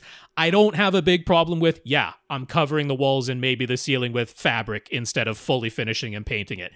That's fine. If you put acoustic treatments behind those curtains, that's totally fine. Where that that not a problem for how the acoustic treatments act or for doing things that way. I agree with Tom. Be extra careful about space. If you're thinking you're gonna have a full set of shelves behind those curtains, it is gonna shrink the visible dimensions of your room, and you're gonna have to put up with noise in here. You're, you're Yes. not gonna be able to mitigate the noise from The, the, subwoofer existing is going to hot water activate that stuff. that that garage door like you would not believe. Oh yes, yeah. Like this isn't going to be an optimal theater, but if there's nowhere else in your house that a theater could go. But my real advice is is there anywhere else in your house that a theater could go? Because this is either going to be a pretty darn compromised setup Yeah. that I don't have a problem with. Lots of people enjoy setups like that, but I'm just letting you know set your expectations is all i'm trying to get at uh, that this is either going to be a pretty darn compromised theater or it's going to be way more expensive than what you thought it was going to be to fully Fifteen convert this into grand probably space. alone doesn't doesn't do the renovations that you would want to do to this room to make it a livable space. Oh God, no. I, I don't. no. I don't No even way. think that gets you. I don't even think it gets you a, a room that you can put stuff in. No, it's at least thirty-five thousand plus. Yeah. So you are, uh, you know, so th- there's a lot going on here. Uh, Rob's Yeah. right about the curtains. You can put uh, everything, yeah. everything behind curtains, acoustic treatments in particular. Don't give a crap about curtains, so that's fine. If you wanted to put all your speakers and stuff behind curtains, you can do that too. You just Yep. have to get acoustically transparent cu- curtains. Yep. So now that's just a slightly different. I mean, I don't even think it really adds that much money. I mean, especially if you make your Nah. own curtains. You Sure. know, if, if you're making your own, I don't think it's going to cost you any more. It's just going to be a little bit more time. And I like I don't have any problem with the Swisstrax on the floor, Yeah. just so it's not bare cement. That makes sense. You can That get the makes sense to vinyl ones too. that look like wood, Yeah. so that makes perfect sense. You can do that. Rugs down there is fine. So I mean, I think I putting the pieces together, reading between the lines, what you had in mind. I have to say, from a legal ground, our advice has to be don't do it because you're not Yes. really supposed to seal the door and go sit in your garage with a bunch of people and not have any ventilation. Uh, you're supposed to leave the garage door open if you do that. That has to be our legal advice. But reading between the lines, what I think you want to do, yeah, I would actually aim to spend a lot less than ten to fifteen thousand dollars. I would I would try to do this on the cheap because yeah, it's either do it and don't spend very much money at all, or go whole hog and be prepared to prepared to spend probably forty thousand dollars. I would think. Yeah. Um, yeah. I, I, I and I, I think if I can just say one last thing about this before we go on, if your idea here is you're going to have a dedicated space that will be superior Right. sounding and looking Because it's closed and in and it's a rectangle. and it's dedicated. And I it's think that's the thing. dedicated, You think this, if you're thinking that this dedicated space will be superior, it. I I think it's. I think you're going to be very disappointed by the results if you don't kind of go whole I am hog at this. concerned. Yeah. Uh, Not only will it not be as comfortable as you think because it's either going to be too hot or too cold most of the time, but it's also not going to sound nearly as good as you want it to. Uh, with all the extra noise from everything that's going to be rattling in there, uh, you know, I, I, I think you either just say, "Hey, we're going to convert this room, full stop," right. or we're going to just find another space Which in is our house. literally just think, what would it cost to put an addition this size onto the house? That's the price. that's how much. dealing Yeah, yeah. Yeah. All right, Joe. Joe is looking at some Sony projectors, used Sony projectors, but there are, uh, but there are the forum rumblings out there about how Sony's SXRD panels can lose lose their native contrast over time due to degradation, leading to grayer black levels. What are our thoughts on this? Um, what? yeah, so this is a known issue in the commercial projectors uh, okay. uh, that went into full sized movie theaters uh, and are being driven by insanely powerful lasers. Um, that, yes, just over time, sheer heat uh, degrades those uh, they're liquid crystal on silicon but it degrades those panels uh, over time are there people with home uh, Sony projectors using those similar technology, uh, liquid crystal and silicon. They call it uh, Sony Crystal Reflective Display, the X standing for crystal, uh, SXRD panels, uh, who have had uh, measurable degradation in the contrast of their panels. And yes, there are. There are people who have run their projectors very long times with high lamp levels in not well ventilated spaces, and they have heated up and those panels have degraded. That is a true thing that is measurable and demonstrable, and we cannot deny that it exists. Is it a problem for the majority of Sony SXRD projector owners? No, it is not uh, for the majority of homeowners who use their projectors occasionally to watch a movie or two every week and they don't have it poorly ventilated and they aren't blasting it in the highest light output at all times, this isn't a major concern. So I wouldn't be overly worried about buying a used Sony projector. Um, but if it's got a gazillion hours on it, then it is possible. I can't deny that it's possible. It was mostly the commercial ones. All right. My son just got home from school because my. Okay, listen. Just go lie down. Violet? That he wasn't saying to, that to his son. That you don't weird. need to go. You don't need to go say hi to him. I see. Why? Why are you home? what? The doggos are excited. Okay. All right. That's not the son home from school. That's the son home from work.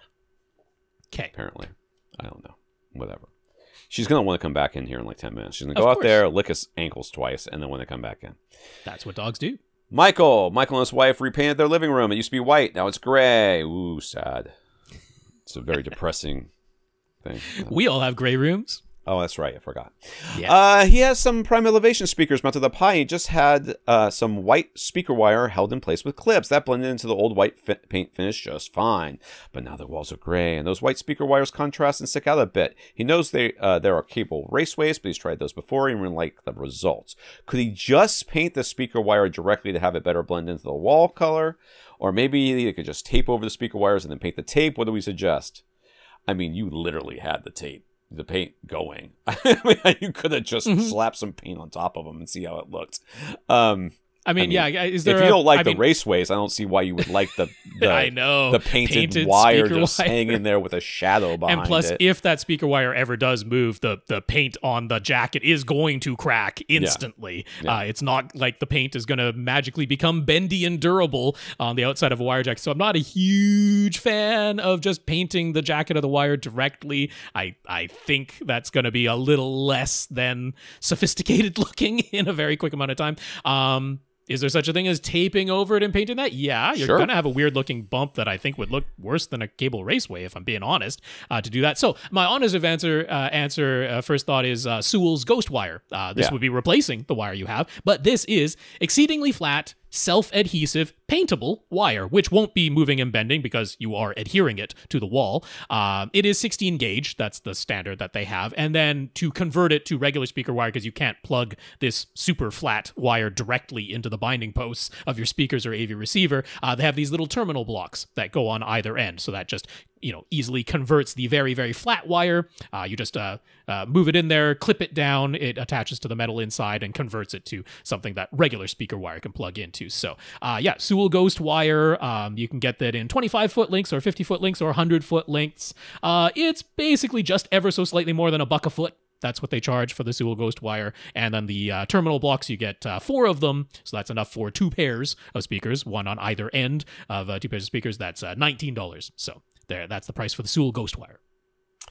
The only, pro- and I, I will link up an article about hiding speaker wire in an apartment. The idea there being that you're not drilling holes in walls because you didn't say anything yeah. about drilling holes in walls, but really, unless you have a fire break in your wall, Mm-hmm. it's really not that hard to run speaker Yeah, wire from the floor yeah, to the ceiling. You know, like if you get it over there, getting from the floor to the ceiling is not that big of a deal. You can, I mean, th- I, I know that this is your living room, right? Yeah. And uh, therefore, you know, you can't do my normal thing, which is to just turn the dang lights off because that's what's my. I don't see anything because the lights are always off. But uh, just throwing a uh, uh, the, the, the the the speaker wire that Rob's talking about is good. Mm-hmm. Uh, sometimes it requires a little bit more work than you think to make it truly invisible. I mean, if you want it completely invisible, then you're mudding over it, which you can Yes. do. You can mud it, mud over it, and feather the mud, and uh, have that all dry, and do the sanding and everything, and then Yeah. paint over that. Uh, so you can do that if you're okay with like, yeah, on close inspection, I can see there's a little seam on this wall here. Then you can just do it there and then paint it directly. Yeah. Uh, but the, on close inspection, there'll be the little seam if you do it that way. So Michael looked up uh, the Sewell Ghost Wire after Rob suggested it to him and found what seems to be a nearly identical product from a price at a lower price. Monoprice at a lower price sounds like Monoprice. Any reason to pay more for the Sewell version? Uh, not that I could really tell. Yeah, right, they they enough. have very similar things. Uh, twenty five feet for uh, just under sixteen dollars, so that's less than a buck a foot, and then uh, twelve dollars for the uh, the pack of four uh, terminal blocks. So a few dollars saving there. If you do buy directly from Monoprice, they do charge shipping on top of that. So maybe that ends up evening out the price pretty much to be. Uh, but yeah, there's not gigantic differences in price here. But yeah, if one's out of stock, go to the other. I wouldn't have any problem doing that. All right. Toke. Toke has an L-shaped room. The theater area portion is roughly 12 feet front to back and 23 feet wide. It's open to the kitchen, forming the L shape. So the L, it's not really an L. It's a rectangular square, and then the I mean, yeah, yeah. The living Space- area is a rectangle, and then it's open to the kitchen. So the, the total open area is an L shape. It's not an enclosed rectangle ah, I just see. for the theater. That's what we're getting at. Yeah. Okay. So he's got uh, four passive subwoofers on hand. They're all dual 10 inch driver units. So eight drivers total housed in four cabinets. They're very thin, sealed cabinets meant to be wall mountable. They're from a brand called Art Acoustic, which I have heard of. It's been a lot of years, but I have heard of them. Yes, I see them here. He's got them not mounted in the wall. no, you're saying these are not the final positions, but just so just so we can see what the heck these things are. Yeah. To power the four subs, he's got a stereo amplifier rated to deliver 450 watts into 8 ohms per channel. So he's wired two subwoofers in series to each amplifier channel, the subs being 4 ohm loads on their own. He would like to put one subwoofer in each corner of his theater area, hoping that will improve the uniformity of his low frequency output. His receiver is a NAD uh, T758 version 3 which only has a single subwoofer pre-out. It can process up to 7.1.4, but has seven amplifiers built in, and those built-in amps cannot be reassigned. The four overhead channels must always be powered externally. Yeah. So he has an eight-channel crown amp on hand, rated at 125 watts per channel into either eight or four ohms. Does not increase its wattage output to four ohms versus eight ohms. Let me tell you something. Let me tell you something about that eight ohm rating. okay, so anyways, uh, and he owns a mini DSP two by four HD. He has zero intent to make any additional purchases. So what he, he would like to know the very best way to connect everything and power his four subwoofers. He could plug the receiver subwoofer pre-out into his mini DSP, giving him independent settings for an EQ for all four subs, and then use four of the eight amplifier channels uh, of his crown amp, but that would only deliver 125 watts into each subwoofer. Or he could set up the mini DSP for only two subwoofer outputs and continue to use his 450 watt per channel stereo amp to power two pairs of subwoofers uh, wired in series. If he did that, should he wire the two front subs together and the two back subs together or something else? Or some other configuration, if we think of something entirely different, would be better. What do we say?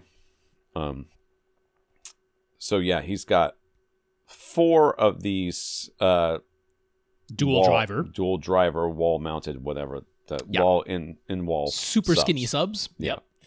So he's going to put two in one area and two in that. First of all, putting them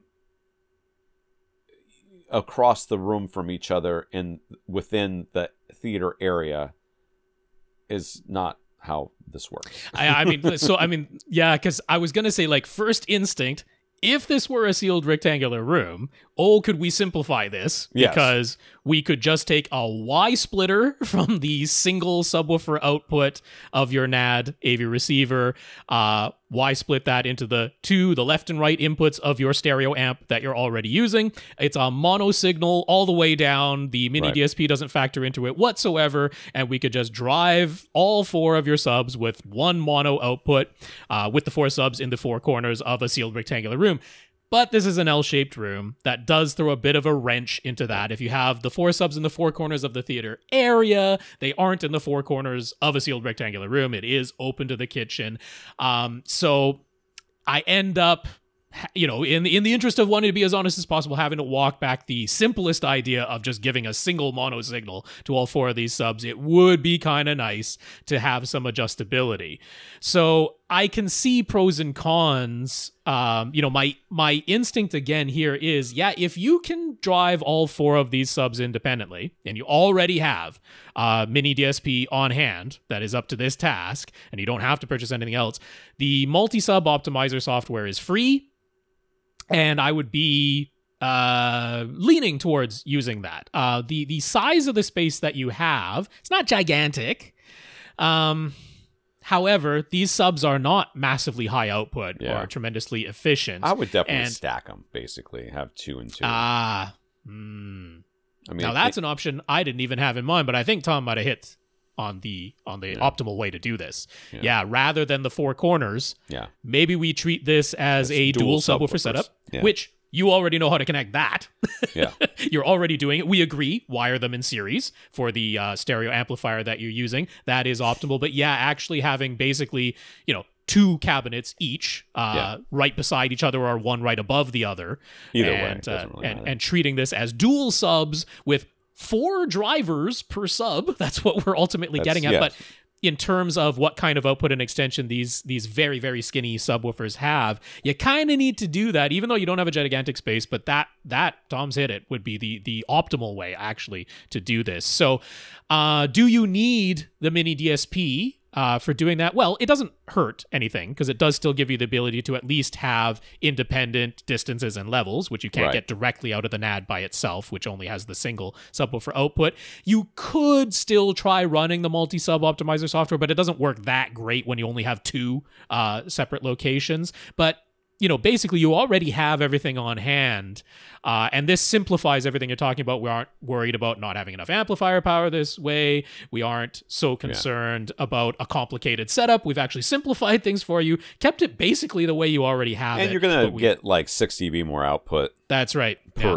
per subwoofer location. Yeah, which is more important in this setup. I think so because With this gear. Yeah, with this gear and this this particular size room, I think Yeah. that if you stack these subs And or these you might- co-locate them, no, I mean I say stacked, but I mean co-locate. Yeah, yeah, yeah. And you got to remember that the the wavelengths of bass are such that you know they they're within like five feet of each other, so like co-located. But I mean, these subs you could quite readily put one right above the other Yeah. or one right beside the other Yeah. on your wall. These could go on the two side walls, right? On Yeah. the left wall, on the right wall, and they're not going to be a problem for floor space or blending in or Right. anything like that, uh, Right. because that's exactly what they're meant to do is go right up against the walls, and you could have a pretty darn good setup that way. And yeah, I so I, I I don't hate it's it's other. I don't hate the other. idea of using the multi sub optimizer. I do not hate that idea. I think it would. I think it it, it very. If the if you had like three or four like subs that could fill this space by themselves, which is what we want in in a subwoofer. Uh, you know, you want something that can pressurize the space. If we, you had that, I would say that is almost certainly the best way to go. Like find, Hmm. like I don't even care where they go. Just throw them in three different or four different, however many spots you, you know, you know, for subs that you have. But I feel like output is going to be a little bit more key here. And Well, and especially for down lower, like like Yeah. you just not like these have extension, but they get quieter and quieter the lower that you go. So having them co-located just gives you that extra bit of output down low uh, that I think is going to be more valuable here. So I mean, look, if you have lots of time to experiment. There isn't really any reason you couldn't try using the multi sub optimizer software with the four subs in the four corners. Go ahead and try that versus co locating two pairs of subs and running things that way. If you got lots of time to do it, uh, certainly run the experiment. But yeah, our recommendation would be other. it would be co locating, having you know two subwoofers, and we're fine still using the mini DSP. Just just have independent levels and distances set. Yeah, I don't really think there's any like all the rest of the stuff that Reddit talks about as far as that you need to need to do. Timing, Oh, that's a rabbit hole. That's a rabbit- timing and phase and all this other nonsense. Just, Yeah. just don't worry about it. pair of subs. Pair of subs. Julian, Julius, Julian wrote to us a while back with his plans to expand his desktop setup to a full-blown Atmos near-field theater. That conversation got delayed, but he made a few changes based on our advice, with good results so far. So now he's back with some more questions about his planned expansion to his setup. To start, this is a work setup, as he's a computer programmer working from home, but he's semi-retired now, so that's why he'd like to expand this office setup in, uh, into his personal movie and games room. He's got three monitors side by side and used to have a pair of KEF LS50 speakers elevated and positioned above those monitors. He had them paired with a compact KEF subwoofer, one of the high end dual opposed driver models, and powered by a NAD M33 stereo integrated amp. His office room is just under 10 feet wide and 8.5 feet deep with shelves on the back wall, but there's a permanent opening to the dining room in the rear right. His original intention was to replace the main screen uh, in the middle with an LG OLED, but still keep the other two screens on either side or possibly stacked both to one side, one above the other. And he had figured he'd need a center speaker or perhaps a speaker with a three channel soundbar form factor. But we told him to try positioning his KEF LS 50 speakers optimally at ear level, which is done now. He also added an SVS uh, 3000 micro so that he can have dual subs.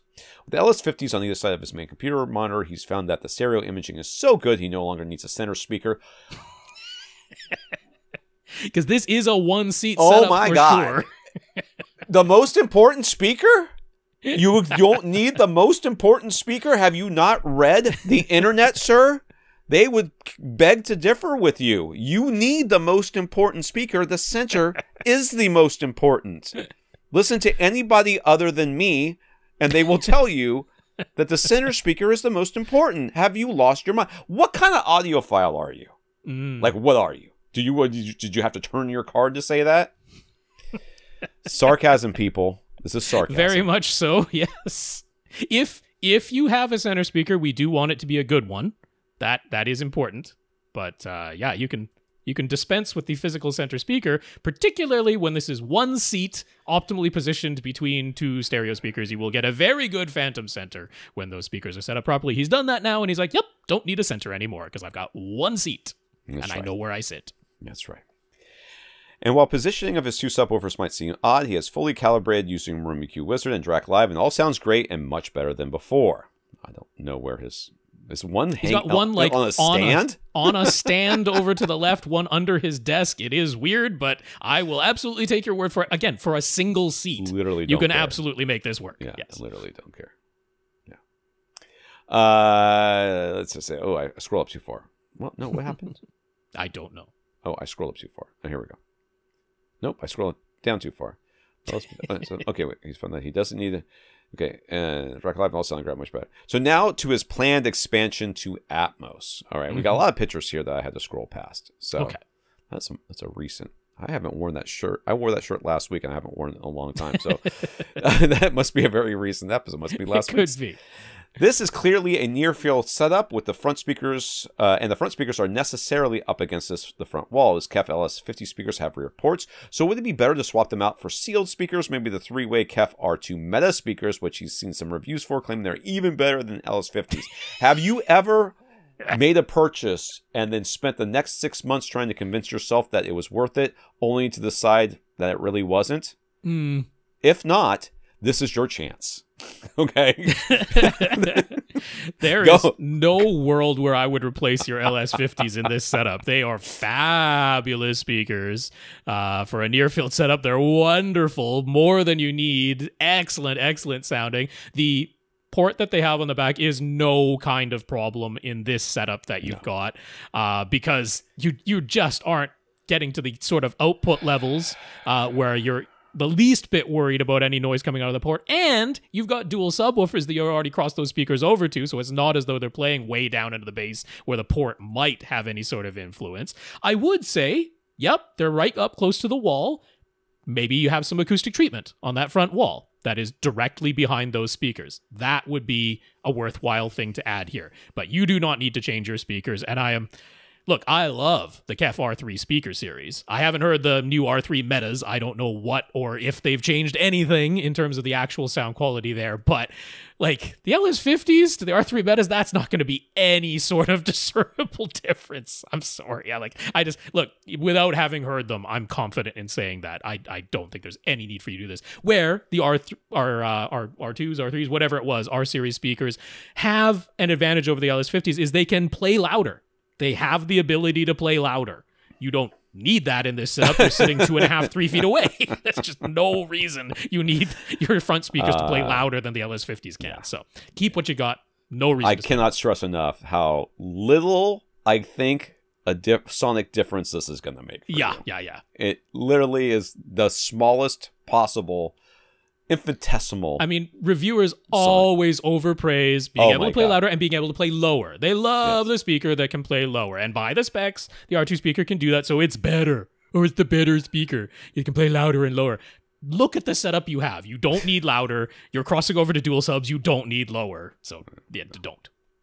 So, due to the limited amount of space, he had in mind to use KEF's super thin T101 speakers for all other positions, Will they provide a good timbre match to his LS50s? Would they would they would the timbre match be better uh, with the sorry, I have to delete this. They, uh, but be better with the R2 metas, or is there a better choice for surrounds and overheads, keeping in mind how little space he has available to work with? Um, again, you are so close to everything. I understand yeah. why you might want to use very, very thin speakers. We sure. have recommended the T101s before. We have. And for it, some scenarios, sure. For, yeah, ver- for for very specific scenarios of people who literally only want thin speakers and no nothing else. That is not mm-hmm. you. What you want mm-hmm. is something that's going to sound similar to the speakers mm-hmm. you currently have. And I know they both say KEF on it. They don't sound the same. Yeah. Yeah, no, the, the T series speakers that that would be a compromise on this one, and no, they wouldn't match particularly better with the LS50s no. or the R2s. That, that they only match themselves. I think. Yeah, they match anything else. yeah, I'm a little hesitant. I gotta tell you to go with the uh, the T101 speakers here. So my alternative is actually not even KEF. They used to have the wonderful E series, the Egg series. Uh, that that was a wonderful match, but you can't get those anymore. Uh, so honestly, Monoprice's, uh, THX satellite speakers, which are basically six inch cubes, and uh, they do have uh, keyhole mount on the back, so they're very easy uh, to mount that way, either directly to the wall or with Monoprice's own mounts that go right into that keyhole mount on the back of it if you want to have some angling adjustability to them. But those ones uh, you know, a similar uh, concentric driver design layout, very neutral response. Um, not the most sensitive speakers; they're they're small, but again, you're three feet away from any of these things, so I'm not worried about that. That is one that I think is reasonable. They're like two hundred and fifty dollars a pair, so they're not going to break the bank. Uh, size wise, they're appropriate. They're bigger than you might think just looking at them. They're not right. Bose cubes. These aren't two inch drivers. Yeah, they're four and a half inch drivers in there, but yeah, yeah they're six, six inch cubes. cubes. Yeah. Yeah. That's uh, I, I, agree. You basically want something flat, and yeah. uh, that's what these are. So yeah. again, you don't need a bass extension. You really for surrounds and overheads, you don't even need all that much treble extension. you just kind of need you kind of need it not to sound different. And the T yeah. ones I think would sound different. Yeah, uh, they're pretty compromised. And I mean, they'll they're flat, but they're also big. They're also you know they're not they're surface wide, area big. Surface yeah. area wide, yeah. big. I would go with these. I mean, you can make you could make you can make an argument for the prime elevations or the prime satellites or yeah, you, could. you know any number of other satellite style speakers that are flat sound or flat frequency response. But definitely, you, the prime elevations are physically bigger than yes. the uh, monoprice satellites. Yeah, for sure. So the, and I, like he's I, already I got all black speakers. All the speakers he has are black. So yeah. those those monolith satellites would blend right in. They'd look like all the rest of your speakers. Yeah. So he's quite set on getting a 9-channel Marantz receiver since he no longer needs a center speaker. Could he use that amplifier channel to power a single surround back speaker instead? No. No. He cannot do that. They don't let you configure it that way. He was thinking he could put a single surround back within the shelves on the back wall to make sure he hears any sounds that are directly behind him when he's gaming. He's going to be putting absorption panels into the back of that cabinet. Uh, yeah, it's not going to work. That's you'll be. I fine. would not do that. Just put two surround. Like first of all, you won't need as much surface area with if you're not putting the T101s back there, so you'll have more placement options. Really, Yeah. uh, the depth will be a little bit different with the with the monoprice cube thingies, but um, you will have plenty of space. It will sound like it's coming directly behind you. Don't yeah, just to make sure your surrounds aren't like 90 degrees to your sides. Get them to the 110 degrees or 120 degrees, uh, so slightly behind you, and it will absolutely, in your single listening position, sound like things are directly behind you when they're supposed to be directly behind you. And you don't have the option to hook things up the way you wanted to anyway. You cannot reassign the center uh, binding post on the AV receiver or the center pre-out to drive a single surround back speaker. That is not a configuration option. So it isn't even an option to begin with, and we really say you don't need to do that anyway. Yeah. I mean, you could cheat them so that they're a little bit more THX uh, that surround back speakers. THX used to recommend that that surround be- Well, like he's not going to have surround backs. Oh, he's just having surrounds. He will just have surrounds. He was thinking like a seven channel setup where there's a single surround back rather than a center. Right? Why so no, I you're not gonna Oh, these are heights that I'm seeing. Yeah, he's here. got heights up Oh, I yeah. see. Yeah, yeah, yeah. No, you just need five point. Forget it. Uh, Kieran in India. Kieran recently found and watched some of our videos on YouTube that only went up to 1080p resolution, but they were Not our videos. Oh, some videos. Some videos, sorry. 1080p resolution, but they were in HDR. He thought they looked pretty darn good. Mm-hmm. I was going to say, we have HDR. No, no, no, no. Just some videos on YouTube. Max resolution 1080p, but they came with HDR. Obviously, the majority of available HDR content is found on 4K videos, but 4K isn't actually necessary for HDR, correct? That is correct. You do. They are separate things. They are individual things. But yeah, I mean, predominantly, 4K came along. Doesn't really make as much of a difference from 1080p to 4K as the marketing wanted everyone to believe. So like, hey, we better throw something on there that's actually noticeable to the human eye. So HDR came along for the ride. So, why isn't full HD with HDR more of a thing? Why isn't it being explored more for streaming content? And could it actually be added to regular Blu rays rather than having to use Ultra HD Blu rays? Wha- Okay, Rob kind of answered that question already. It's all about sales and marketing. You, you, you know, can we do this thing technologically? You know, it's like why are why is why do we have to have HDMI when we have optical? Like HDMI can be thrown through an optical cable. Why do I have to have an HDMI, uh, HDMI connection on either side? Why can I have just something else? Uh, well, the Toslink that's currently I wrote an article about this.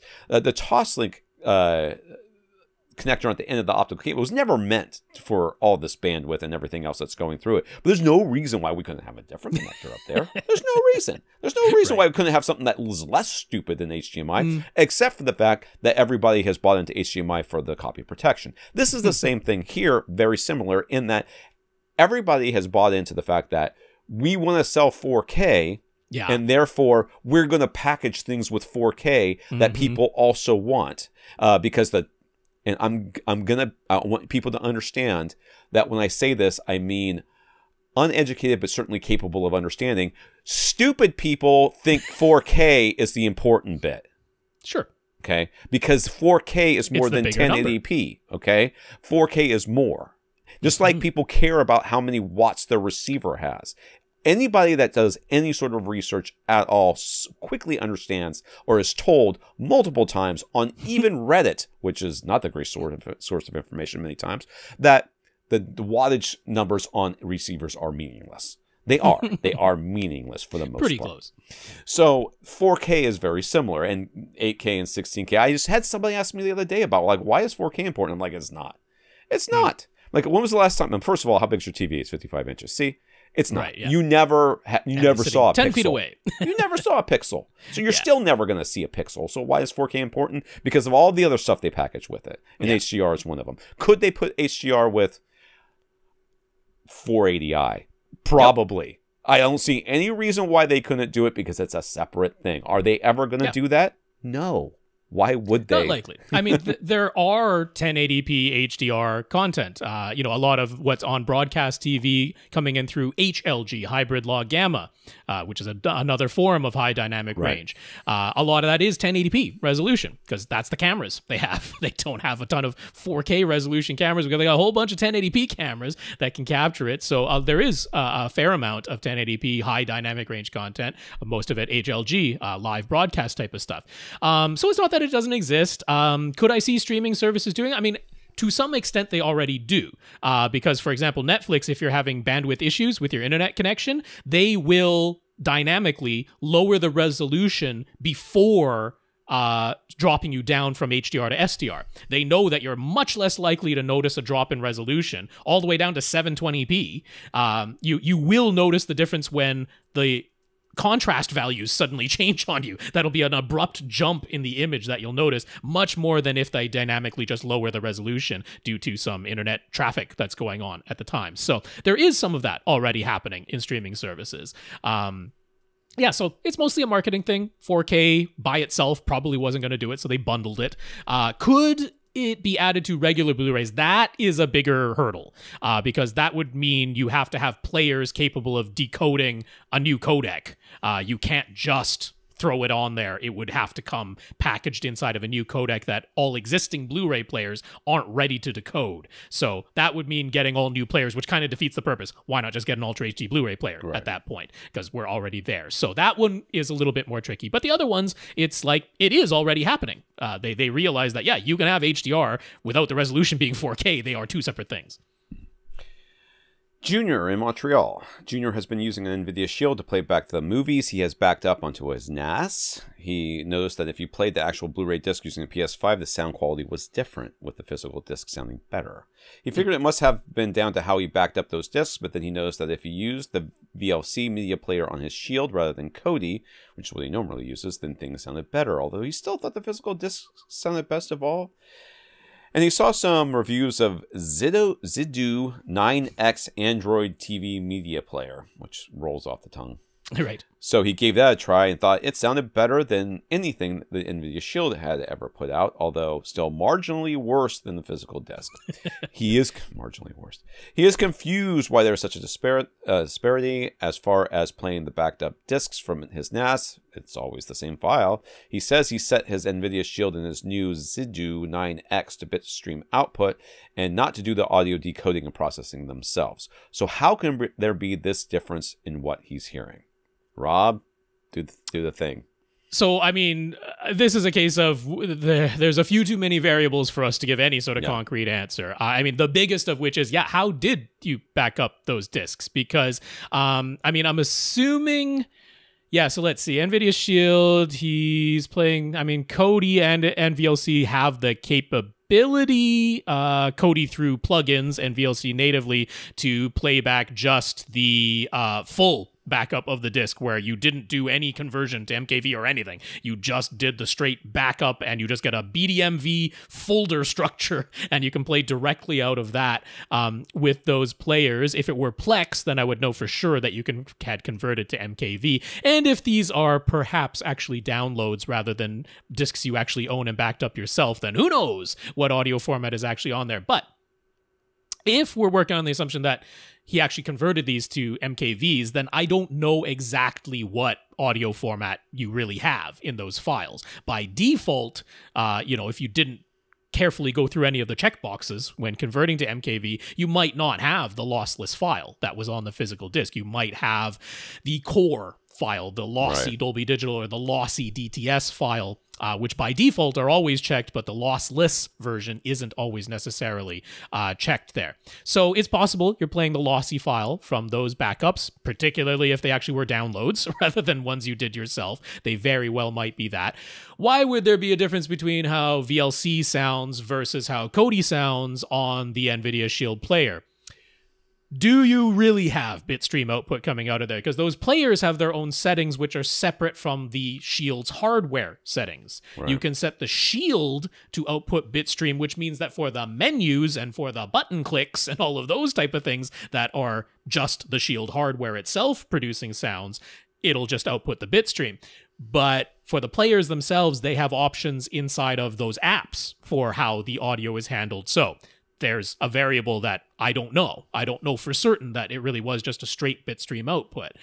Is there also the possibility that you do have the lossless files backed up in there, uh, but when you're bitstreaming out, it's not able to output, say, the Atmos uh, version of it, because there are sometimes limitations in the software for being able to truly bitstream out the original versus, say, doing the decoding inside of the app, which turns it into multi channel PCM and you lose the Atmos extension or you lose the DTS:X extension. That's the case in, say, Apple TV's Infuse player, where it will send out lossless in the form of multi channel PCM, but it won't send out the Atmos extensions or the DTS:X extensions. So, could you hear a difference that way? You certainly could. So, that's another variable that is uh, probably on the software side. That Zidoo 9X player, I don't have any familiarity with it. As an Android TV media player, I would suspect it's decoding because yeah. I don't know of too many that will actually just output the bitstream. They almost always decode uh, themselves. So that one I question rather highly.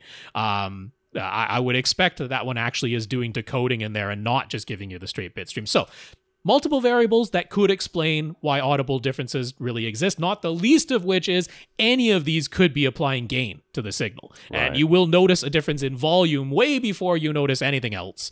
Uh, you might not be aware that there's a difference in volume happening, but that is actually the most likely scenario of hearing a genuinely audible, noticeable difference is that there was some gain applied to the signal at some point. The most likely of which being that Zidoo Android player because it probably is decoding and applying gain itself, and everyone goes, ooh, it sounds better. Nah, it's just louder. Uh, and that is very often the case. So that's my suspe- suspects for why this is happening to you. Okay. Uh, let's do one more and then we'll be done. Yeah. Uh, oh, wait. I scrolled up. Daniel. Daniel has a 7.2.4 config- uh, speaker configuration set up in his living room. The theater area is about 14 feet from front to back and 14 and a half feet wide and just under 8 feet high, which means nothing because it's in the living room. Yeah. His main seat is about 3 feet from the back wall, 11 feet from the front wall. He's using SVS speakers all around, ultra center, ultra bookshelves for front, left, and right, and surrounds. Oh, and ultra bookshelves yeah, for surrounds ultra bookshelves well. for surrounds as well. Yeah, six prime elevation speakers for surround backs and four overheads, plus a pair of SB three thousand subs. He initially had his front left and right speakers only six feet apart, directly on either side of his TV. He had already determined that he needs to widen that distance probably to 10 feet apart instead of six.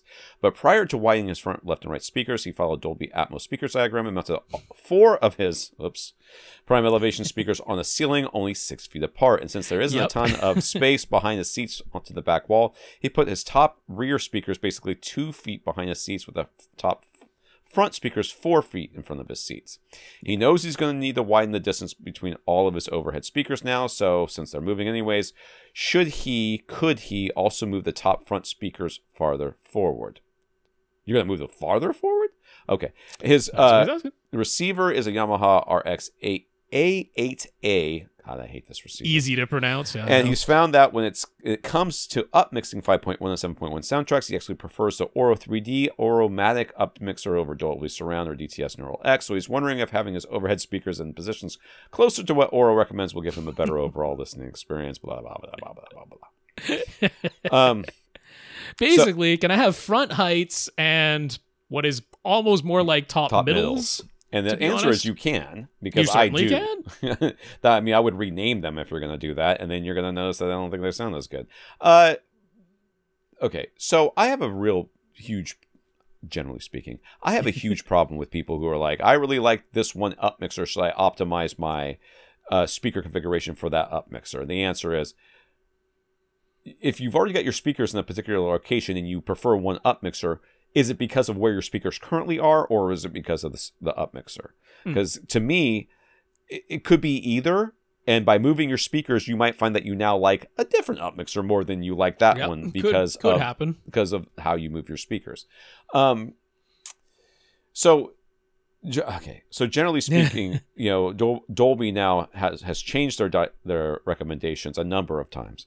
Yeah. Uh, the, although it, just the diagrams still very much make it look like this right? All yeah. the overhead speakers in a line the same distance apart from left to right as your front speakers. The diagrams still very much look like that but if you read the language in their white paper there's uh, a greater range that uh, dolby allows for those overhead positions. Right.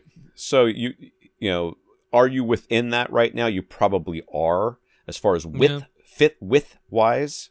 Uh, Although, I mean, I will grant you, only six feet from left to right. yeah, Uh, there's a good chance that that's not even as wide as your couch, uh, quite possibly. Um, Yes. So, I mean, our, our our general recommendation is when it comes to positioning Atmos speakers, uh, we, Tom and Rob, are much less strict than a lot of the other online people who want to nail down very specific angles and distances between things and proclaim that that is the only way to experience Atmos.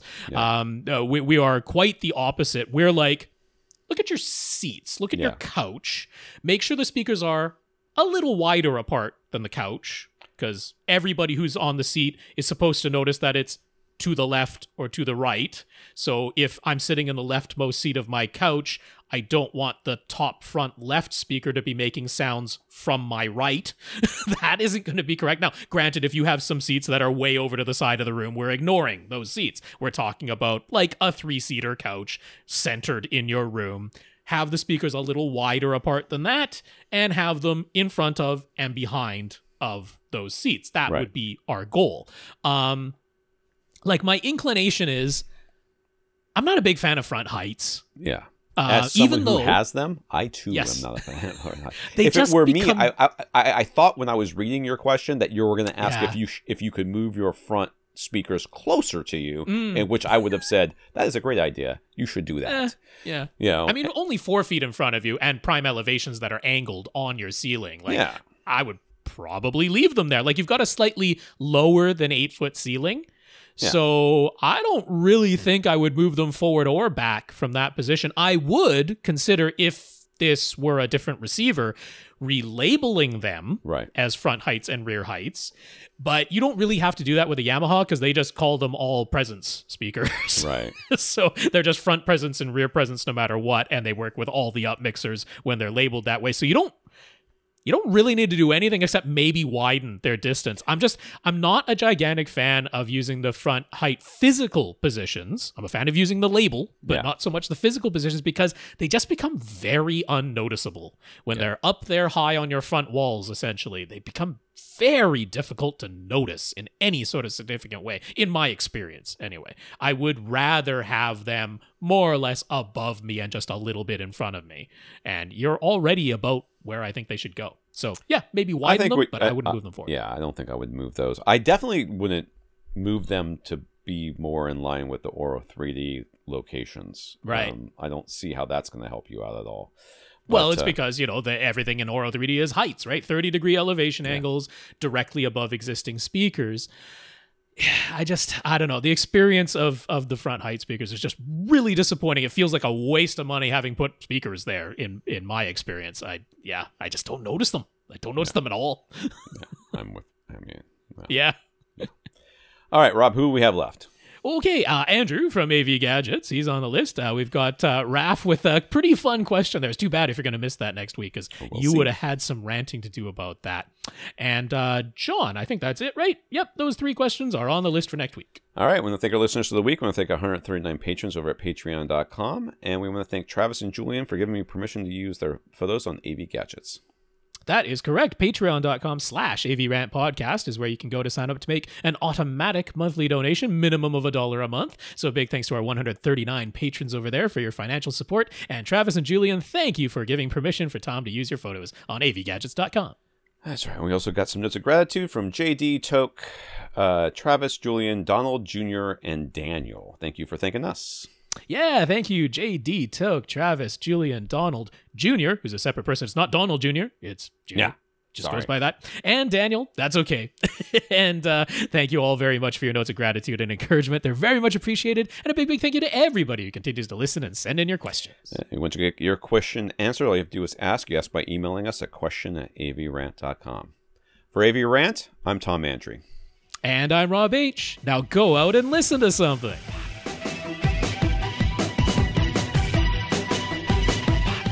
Want your question answered? Send it to question at avrant.com.